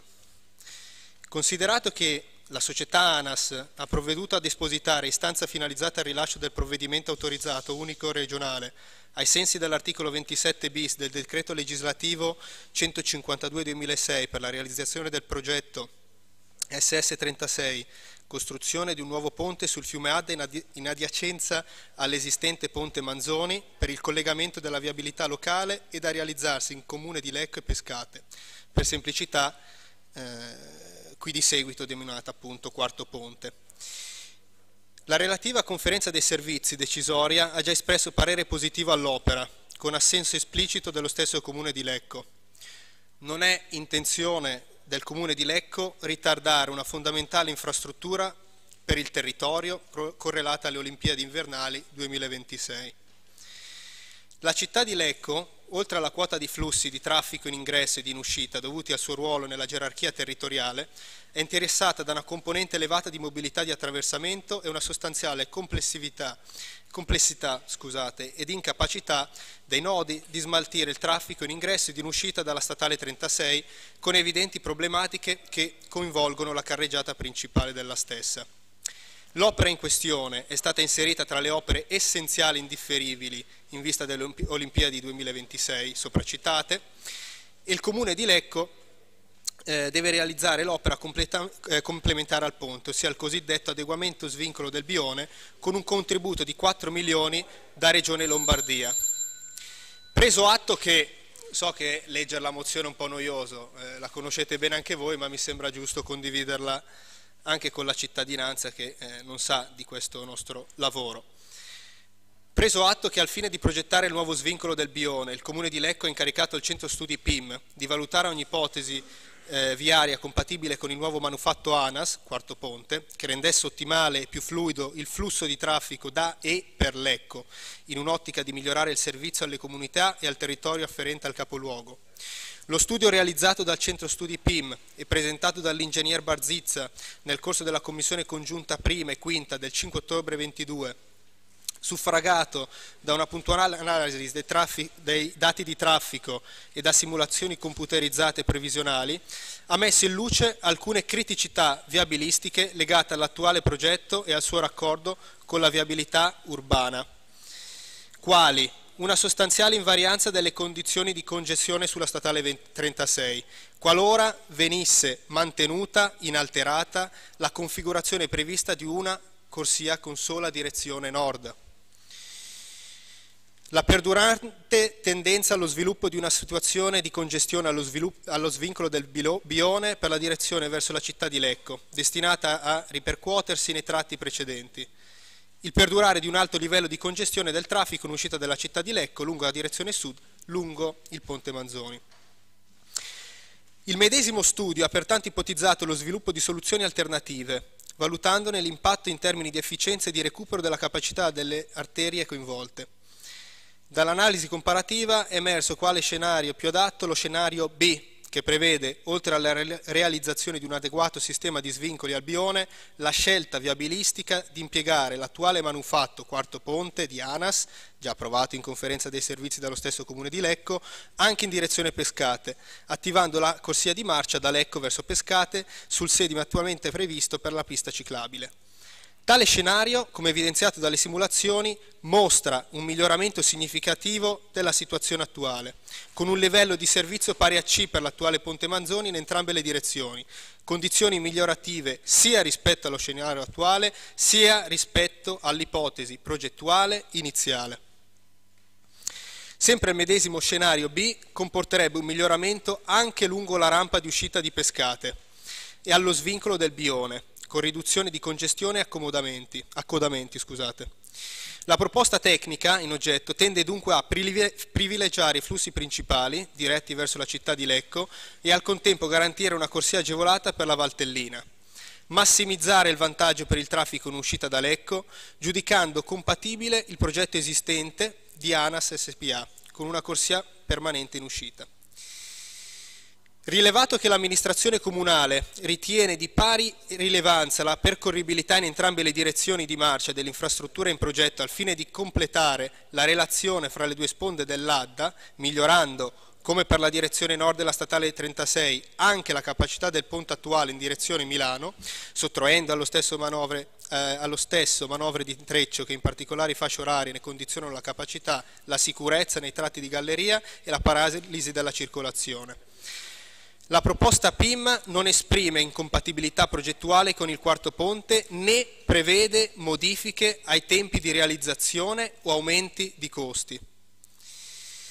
Eventuali varianti progettuali non dovranno comprendere tempi e costi dell'opera eh, compromettere i tempi e costi dell'opera principale quarto ponte, così come già approvata in conferenza dei servizi. Il Consiglio Comunale di Lecco dunque impegna il Sindaco e la Giunta affinché si adoperino nelle sedi opportune ad attivare l'opzione viabilistica di rendere il nuovo ponte permanente percorribile in entrambi i sensi di marcia tra le due sponde dell'Adda. Tale opzione tiene conto dei tempi e dei costi già previsti, andando a separare distintamente il traffico locale da quello di attraversamento con conseguente eh, miglior scorrimento dei flussi della statale 36 in entrambe le direzioni, senza la necessità di realizzare un ulteriore ponte con evidente risparmio di risorse finanziarie, sia per la fase di realizzazione che di gestione, minor impatto paesaggistico, ambientale, nonché senza procedere a esproprio o demolizione di edifici privati in territori di pescate. Inoltre impegna la Giunta a includere tale scelta viabilistica nella progettazione e conseguente realizzazione del nuovo vincolo alpione e a relazionarsi con ogni altro ente, ente pre, preposto affinché adotti le rispettive scelte compatibili con tale indirizzo. Vi ringrazio per la vostra pazienza, questa è la mozione che eh, abbiamo condiviso finora. Eh, la minoranza eh, ha chiesto eh, di avere più tempo per esaminare eh, questa mozione. Noi non abbiamo nessun problema eh, ad aspettare eh, consigli, suggerimenti, miglioramenti come già stato fatto dalla minoranza stessa fino ad oggi. Sappiamo che questo andrà fatto prima della conferenza dei eh, servizi eh, e quindi rinnoviamo la grande apertura eh, da parte della nostra maggioranza a collaborare con voi per portare una soluzione a Lecco che ad oggi non c'è. Un'opera che sappiamo bene richiederà grandi sacrifici per la nostra città e alla quale siamo ancora in tempo, con tutte le condizioni che ci avete proposto e che noi abbiamo accettato, per cambiare e per dare a Lecco una doppia corsia. Per questo motivo e per dare eh, alla minoranza eh, il tempo richiesto per discuterne, chiedo che eh, la mozione venga rinviata al prossimo Consiglio Comunale. Grazie. Grazie consigliere Regazzoni, preciso solo che la richiesta che può avanzare un qualsiasi consigliere, scusi qualsiasi consigliere è lo stralcio dal punto all'ordine del giorno, quindi sul prossimo Consiglio Comunale lo, lo discuteremo come ufficio di presidenza e come capigruppo, come di consueto. Per cui a questo punto chiede di, eh, che venga stralciata, quindi penso che parli anche a nome dei proponenti. Consigliere Zamperini, lei intendeva mozione d'ordine? Sì, grazie Presidente. Io faccio una mozione d'ordine perché se... Un minuto però, eh, mozione sì, sì, d'ordine. Anche meno. No, lo anticipo. Perché io non capisco in che modo e in che, in che stato di diritto uno possa presentare una mozione superiore alle 200 persone, mentre oltre 1200 sono gli arresti. E tutto ciò ovviamente non ci può lasciare indifferenti e per questo motivo eh, stiamo considerando due aspetti. Il primo, eh, la grandissima resistenza proprio delle donne iraniane, le quali in prima persona, eh, con le manifestazioni anche simboliche, eh, che stanno circolando sui media non intendono fare un passo indietro rispetto alla, alla condanna eh, di questa repressione che le vede marginalizzate. Parliamo ovviamente eh, di, di, studentesse, ma anche giornalisti, scrittrici, eh, professioniste, persone cioè capaci anche di in un certo senso guidare l'opinione pubblica. E poi c'è un ruolo emergente dei giovani iraniani, eh, le giovani e i giovani che eh, pur nati sotto questo regime teocratico eh, stanno cercando di lottare per l'affrancamento eh, delle loro libertà individuali, politiche e di manifestazione. Per questi motivi eh, e ovviamente eh, per il ripudio totale che eh, la città intende esprimere rispetto a, a questi fatti. Eh, L'ordine del giorno che eh, vi sottopongo è un impegnativo nei confronti eh, del sindaco e della giunta, innanzitutto ad esprimere eh, vicinanza alle vittime di questi orrori e vicinanza anche alla popolazione di origine iraniana presente nella nostra città. In secondo ordine, eh, sollecitare il governo iraniano ad esprimere, scusate, italiano ad, ad, esprimere una forte condanna nei confronti di questi fatti efferati perché sono a tutti gli effetti costituenti assassini di tipo politico. Seconda, eh, in secondo ordine, incidere e sensibilizzare gli organi ancora superiori, quindi l'Assemblea Generale dell'ONU, affinché adotti provvedimenti urgenti per fermare l'uccisione di massa dei giovani iraniani. Questo è eh, quanto il Consiglio Comunale di Lecco può fare in questo momento, oltre alle manifestazioni che tante associazioni hanno eh, già sviluppato nei giorni scorsi, altre eh, mi risulta ci saranno nei prossimi, però è sembrato unanime che il Consiglio nella sua interezza prendesse atto eh, di queste atrocità e si esprimesse a gran voce. Grazie signor Sindaco, chiusa la fase della presentazione apro quella del dibattito. Consigliera Bettega, prego. La prima, grazie. Ehm, a proposito di questo ordine del giorno che naturalmente condivido e voterò a favore anche perché nel dispositivo eh, diciamo che soprattutto eh, sono tutti e tre importanti, la vicinanza, il governo italiano che eh, prenda una posizione, la comunità internazionale. Ecco, il, pro il, problema secondo me proprio è che la comunità internazionale dovrebbe fare molto di più, anche se mi sembra che invece faccia molto poco. Eh, quando nella chat dei capigruppo è arrivata questo testo, che poi sì effettivamente è stato modificato, è arrivato una sera, io eh, in, in quel momento stavo guardando la televisione, trasmettevano il lago dei cigni, interpretato da Roberto Bolle e Svetlana Zaccaro, Zakharova e la prima cosa che ho pensato è che una forma artistica, un'arte meravigliosa come il balletto classico in Iran non, potrebbe, non può avere spazio, non può avere spazio perché eh, ovviamente si vedono le ballerine, si vedono le loro gambe, si vedono le braccia nude, eh, spesso anche le spalle nude perché i costumi della danza magari prevedono solo due spalline.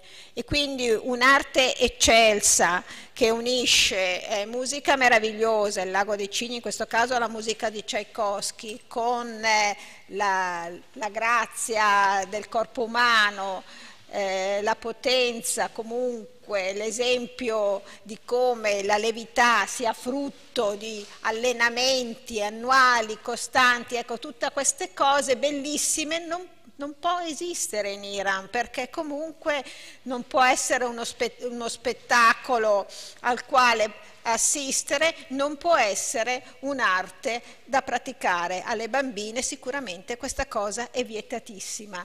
E nel frattempo, siccome la eh, protagonista del balletto, Svetlana Zakharova, appunto, che è la ballerina numero uno al mondo, la stella del Bolshoi, è ucraina. E questo mi ha portato a pensare che probabilmente in, in Ucraina da febbraio tante bambine che hanno questa donna come punto di riferimento, come protagonista del loro sogno, come esempio, perché comunque è molto popolare là la danza classica, ecco queste bambine che hanno questa donna ucraina arrivata alla massima vetta del balletto, probabilmente moltissime di loro non hanno più potuto fare la loro scuola di danza, non hanno più potuto perché hanno dovuto lasciare la loro terra, non hanno più potuto magari perché la loro insegnante magari è rimasta vittima, non hanno potuto perché magari la scuola dove andavano è stata bombardata, non hanno potuto perché c'è stata dal 24 di febbraio l'invasione dei carri armati russi è iniziata una guerra. Quindi questo mi porta a riflettere come in tante, troppe parti del mondo c'è veramente una, in Ucraina addirittura una guerra che ha praticamente annullato i sogni non solo delle bambine, per carità anche dei bambini che magari andavano a giocare a calcio piuttosto che a basket o a pallavolo, ma comunque l'esempio dell'Iran, man mano mi, mi sposto verso, verso est e mi chiedo tra paesi dove c'è l'integralismo musulmano, tra i paesi dove c'è la miseria più miseria, in quanti luoghi, in quanti posti, in quante nazioni la donna è veramente ancora in una situazione difficilissima. Quanto sono fortunata io che vivo in Italia e da pochi giorni abbiamo anche la soddisfazione di avere una donna primo ministro. Cioè, io credo che questa riflessione vada considerata e credo anche che per le donne più sfortunate insomma, si dovrebbe fare qualcosa di più, molto di più. Grazie consigliera Bettega, consigliera Chiara Frigerio, prego. Grazie Presidente. Sì, anch'io dopo eh, dati fatti in corso e con ancora più convinzione, eh, dopo aver ascoltato al presidio di venerdì i racconti eh, di donne che si sono esposte in prima persona con tutti i rischi del caso per portare la voce di altre donne che subiscono eh, oggi violenza, eh, non posso che aderire pienamente a quanto è stato proposto. Eh, I fatti recentemente trascorsi a Teheran hanno rilanciato il tema della questione femminile in Medio Oriente e nel mondo islamico. È una corsa alla libertà, una rivoluzione eh, per i diritti umani, ma il traguardo purtroppo è ancora lontano. Eh, le vittime sono oggi più di 250 eh, di queste manifestazioni per eh, le proteste ehm, e per le umiliazioni e le subordinazioni di donne la cui vita, scuola, eh, attività lavorativa è regolata in maniera totalitaria.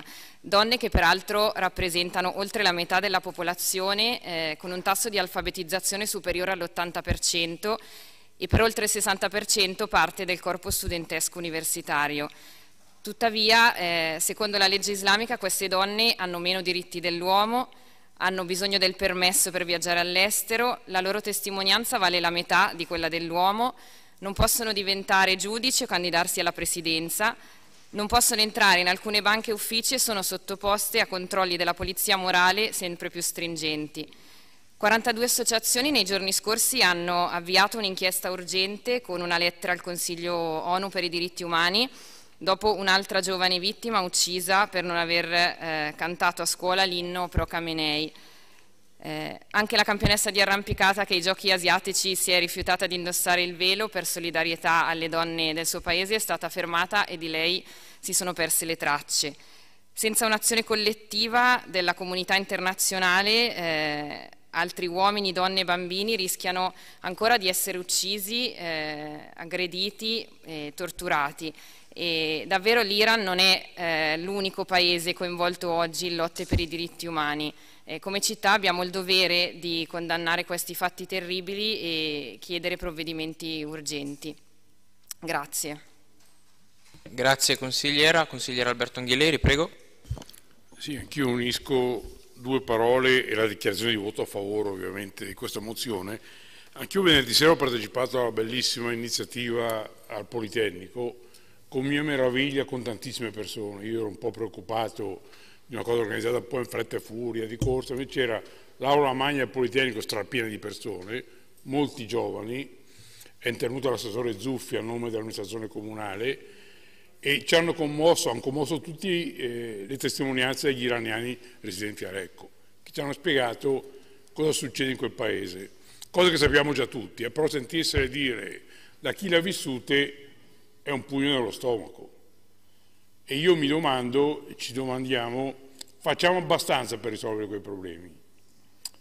Presi dalle nostre beghe, dai, nostri, dai, dai governi, dai non governi, dal caldo, dal freddo, dalle bollette, il mio timore è che anche questa vicenda dell'Iran, passati 15 giorni, il mese di grande discussione, sparisca, come è successo per molte altre questioni. Ecco, noi invece dobbiamo tenere alta la vigilanza su questi problemi, perché avere in quei paesi, per fortuna non dappertutto, una situazione così discriminante nei confronti delle donne è davvero tragico.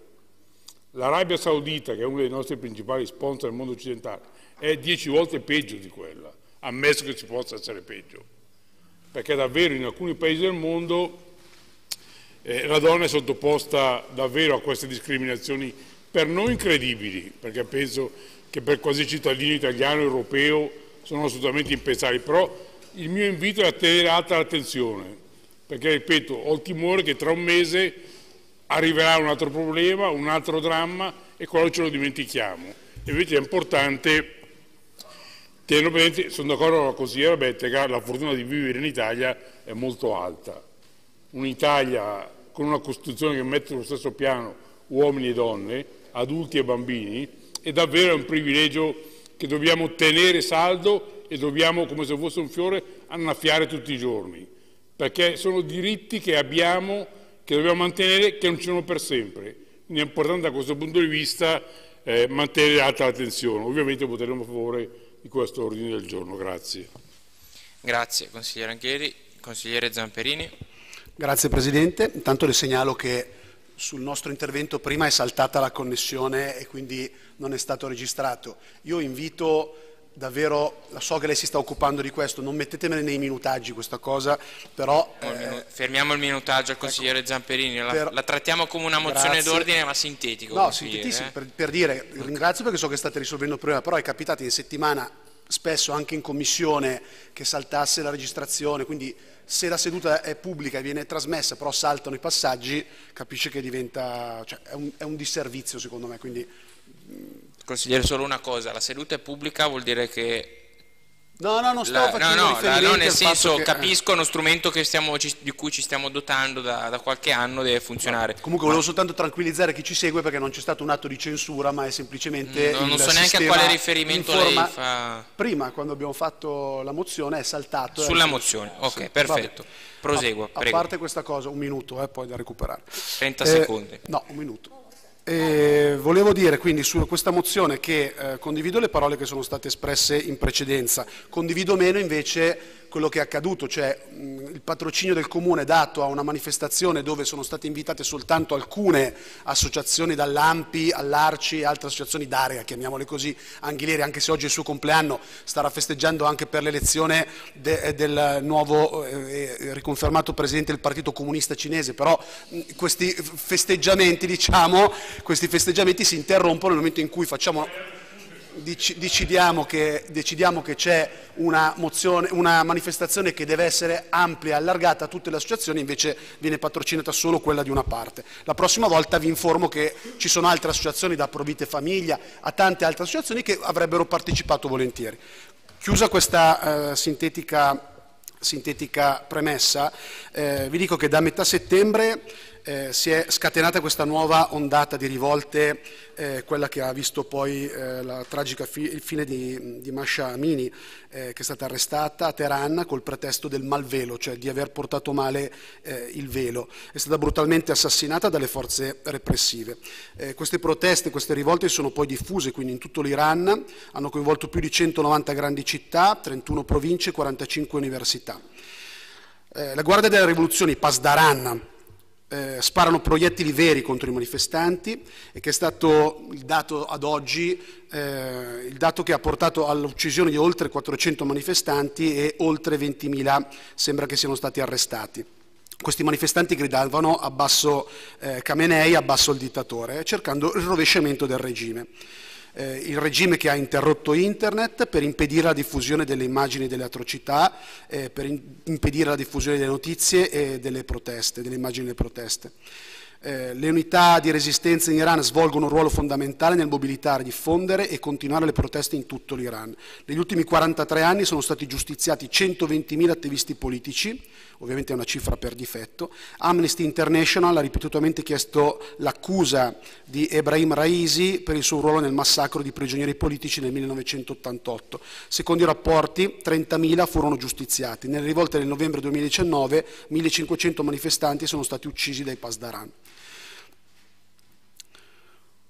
È stato anche incendiato recentemente un carcere, il carcere di Ewin, dove peraltro era, come sapete, eh, custodita e trattenuta anche una nostra connazionale che fortunatamente non, è, non, ha dovuto subire la sorte che invece hanno subito gli altri prigionieri. E, e tutto questo avviene nella, eh, nel, nell'ombra, nell'ombra di un regime. Noi abbiamo fatto questo ordine del giorno che condivido chiedendo alcune cose che il sindaco prima ha ripetuto, la realtà è che bisognerebbe fare molto di più, bisognerebbe impedire a, a, a chi eh, sostiene questo regime di, poter, eh, di potersi muovere, bisognerebbe invece impedire che il regime impedisca ai dissidenti di lasciare il paese, ci sono tante cose da fare e servirebbe una condanna unanime di tutta la comunità internazionale. Questo per ora non è possibile, eh, almeno non è possibile, non è, non è, ancora stato fatto, quindi il lavoro da fare è, è, è molto. Noi continueremo a sostenere eh, le proteste del popolo iraniano che chiede libertà e che chiede di poter sfuggire da un regime teocratico islamico che ha eh, cancellato invece una storia, quella della Persia, che era eh, diventata invece baluardo delle, delle libertà eh, nella, nel, nel, mondo orientale. E, mm, non aggiungo altro, anche, quindi eh, evito di recuperare il minuto, eh, ringrazio però per la condivisione di quest'Aula, condivisione che però non mi è sfuggita nell'incipit del sindaco che ha fatto notare a Regazzoni, ecco come si fa a condividere per davvero un ordine del giorno. Gliel'ha detto il sindaco, consigliere Regazzoni, la prossima volta impari. Grazie. Grazie consigliere Zamperini, non ha neanche utilizzato il suo minuto aggiuntivo, è stato fortunato. Battute a parte, non ho... Ah, consigliere Dossi, prego. Sì, grazie. Allora, siccome ehm, sono stato preceduto da altri, provo a dare un taglio diverso all'intervento e voglio condividere con voi alcune informazioni, riflessioni che arrivano eh, a noi da Neshat Dayati, attivista ecologista iraniana, oltre che artista e amica presente l'altra sera e che vive nella nostra città da tempo, mettendo a disposizione la propria passione e il proprio tempo per l'ecco il suo ambiente e il suo territorio. Condivido con voi il suo pensiero non per dire che ci sono categorie che più di altre stanno soffrendo le persecuzioni, anche se probabilmente è vero, ma davvero per aggiungere sfaccettature ulteriori che questa tremenda situazione assume. Eh, lei dice che essere ecologisti in Iran è sempre più pericoloso. L'Iran un tempo vantava uno dei movimenti eh, ecologisti anche più sviluppati, ma persecuzione, paranoia e guerra hanno affondato i più vitali programmi di conservazione e sviluppo sostenibile nel Medio Oriente. È stato all'inizio del 2018 che eh, gli ambientalisti iraniani hanno realizzato quanto fosse diventato pericoloso il proprio lavoro. Eh, le forze di sicurezza hanno arrestato eh, i principali biologi del paese della fondazione Persian Wildlife Heritage Foundation, recludendoli nella tristemente nota prigione citata già prima anche dal consigliere Zamperini di Ewin.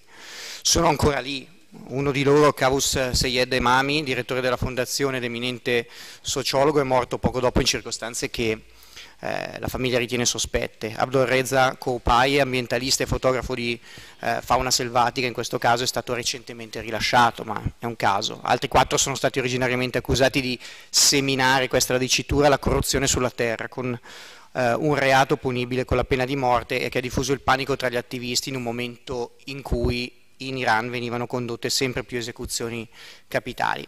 La scorsa settimana, come detto, la prigione di Ewin dove erano stati detenuti tutti questi attivisti, eh, attivisti ambientali per la parità di genere, per i diritti civili, ha preso fuoco, oltre che altri naturalmente.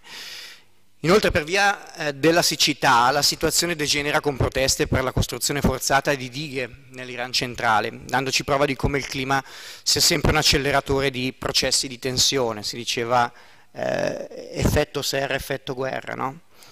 Ora questo era solo per portare una testimonianza ulteriore, qualora ce ne fosse bisogno, che le tensioni tra loro si sommano e le difficoltà e le lotte per i diritti si sovrappongono spesso ad altre tensioni e necessità del tutto evidenti che coinvolgono attivisti che si battono per gli uni e gli altri diritti. Noi crediamo, per accogliere anche eh, dire, quanto caldeggiato precedentemente, in questo senso che dobbiamo fare anche noi di più. Ci hanno chiesto l'altra sera a più riprese di essere eh, la loro voce all'evento patrocinato dal Comune. Per essere una voce forte, piena e completa dobbiamo essere uniti e fare necessariamente meglio di quanto fatto finora. Possiamo provare, io mi domando, a cercare di essere più coesi su questo, almeno sui diritti umani, lavorare per trovare una, una caduta comune. Il nostro governo, quello italiano, mi domando se è pronto a rappresentarci in questo senso, sul piano intendo del dialogo politico eh, internazionale, eh, quindi che posizione prende rispetto a questi diritti spezzati. Io credo che solo unitamente e con un'azione politica chiara da parte del governo noi potremo essere veramente la loro voce. Altrimenti se non siamo pronti a essere pienamente la loro voce, a quel punto sarà meglio tacere del tutto. Così quantomeno si eviteranno coccarde e strumentalizzazioni che sono sempre dietro l'angolo. Io naturalmente spero che si realizzi la prima delle due cose e che si possa invece appunto essere voce forte e chiara al loro fianco e quindi proviamoci insieme. Grazie. Grazie consigliere Dossi. Consigliere Parolari, prego. Prima cosa diciamo che penso che in Italia abbiamo fatto un passo in avanti da quando nel 1976 si salutava come l'avvento della libertà l'avvento del regime dell'Ayatollah Khomeini. Questo regime teocratico in un paese come tutti i paesi islamici dove c'è un regime teocratico il popolo è un po' meno teocratico, eh, la, eh, l'Islam non è l'unica religione eh, iraniana o della Partia perché chi conosce e sa questi nei libri di storia sono i parti dove Roma ci lasciò la pelle crasso a suo tempo con i persiani va benissimo fare queste cose. Ho, ri- ho richiamato l'Ayatollah Khomeini perché noi tante volte abbiamo un'isteresi da Milan Inter, in cui vediamo le cose all'estero per quello che ci conviene dalla tribuna del tifoso. Quando parliamo quindi della condizione della donna nell'Islam dobbiamo parlare della condizione della donna islamica in Italia. Quindi se abbiamo questi tipi di principi dobbiamo sapere senza ipocrisie che quello che vogliamo applicare o vogliamo chiedere all'ONU, vogliamo chiedere alla comunità internazionale, dobbiamo anche avere il coraggio di leggerlo senza, chiarisco bene, pretendere di cambiare le altre culture. Io in quest'Aula ho detto che Charlie Hebdo non aveva rispettato non tanto la religione islamica quanto le persone che credono in quella religione. Perché ci, quando abbiamo a che fare con altre culture dobbiamo sempre partire dal principio del rispetto delle altre culture. Se partiamo dal principio della superiorità della nostra cultura, il dialogo diventa un po' più difficile. Quindi saluto questo ordine del giorno, lo ritrovo un atto positivo nei limiti che, cerco, che ho cercato di indicare, perché tante volte rischiamo di ergerci a uh, giudici o a quasi avere una sorta di paternalismo nei confronti di situazioni che sono a noi molto diverse. Citava Anghileri benissimo che un conto è l'Islam sciita, ma se va un po' più a sud con i wahhabiti, proprio lì, non è che non gli fanno mettere il velo, non le fanno uscire di casa. Però abbiamo sempre avuto un buon rapporto diplomatico con, le famiglie wahhabite dell'Arabia Saudita, no? Ecco, per altri motivi che non erano certamente quello del rispetto dei diritti umani. Quindi c'è questo passaggio, va bene, però dobbiamo essere un po', un po' consapevoli di non essere paternalisti e capire con molta delicatezza che questi problemi stanno venendo da noi, con molta delicatezza, non c'è bisogno di, di fare manifestazioni, di, fare, di dividersi in tifoserie.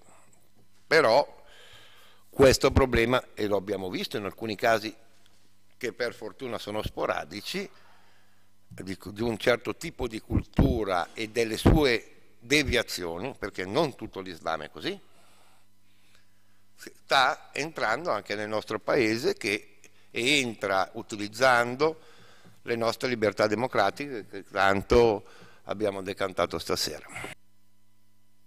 Grazie consigliere Parolari. Non ci sono altri consiglieri iscritti a parlare, per cui chiudo la fase del dibattito, lascio la parola al sindaco per eventuali repliche, se ce ne sono chiaramente, non ci sono repliche, quindi lascio la parola al Consiglio per eventuali dichiarazioni di voto. Non ci sono dichiarazioni di voto, per cui lascio la parola al segretario per l'appello per la votazione. Sindaco. Favorevole. Regazzoni. Favorevole. Tavola. Favorevole. San Severino. Favorevole. Nigriello. Favorevole. Paindelli. Favorevole. Pattarini. Assente. Favorevole. Ah, chiedo scusa. Frigerio. Favorevole. Ripamonti. Favorevole. Visconti. Favorevole. Sangalli. Favorevole. Frigerio. Favorevole. Stefania Valsecchi. Favorevole. Daniele Blaseotto. Favorevole. Alberto Anghileri. Favorevole. Vassena. Favorevole. Tossi. Favorevole. Paolo Galli. Favorevole. Corrado Valsecchi assente. Ciresa. Favorevole. Minuzzo. Favorevole. Caravia. Favorevole. Brigatti. Favorevole. Rossi. Favorevole. Boscagli. Bettega. Favorevole. Corti. Favorevole. Parolari. Favorevole. Zamberini. Favorevole. Caterisano. Favorevole. 29 voti favorevoli. Il provvedimento è approvato all'unanimità. Passiamo ora all'ultimo punto all'ordine del giorno, l'approvazione dei verbali delle sedute consigliari dell'11, 25 e 26 luglio. Procederemo con tre votazioni separate perché gli assenti erano... Un attimo, tre votazioni separate perché gli assenti erano diversi, ovviamente per alzata di mano, se mi fate finire. Eh, grazie, grazie. Cioè. Allora, in votazione il verbale del Consiglio dell'11 luglio, assenti i consiglieri Fusi, Tagliaferri, Corrado Valsecchi, Rossi, Boscagli, Bettega e Caterisano. Favorevoli? Astenuti? Nessuno. Contrari? Il verbale approvato all'unanimità. Mettiamo ora in votazione, scusate, per favore, mettiamo ora in votazione il verbale del 25 luglio, assenti i consiglieri Blaseotto, Brigatti, Ciresa, Chiara Frigerio, Dossi e Sangalli. Favorevoli? Astenuti? Favorevoli? Astenuti? Ok, contrari? Il verbale è approvato all'unanimità. Approviamo ora il, verbale del Consiglio del 26 luglio, assenti Brigatti, Caterisano, Ciresa, Dossi, Rossi e Sangalli. Favorevoli? Astenuti? Contrari? Il provvedimento è approvato all'unanimità. Avendo finito i punti all'ordine del giorno, il Consiglio è concluso. Buona serata a tutti.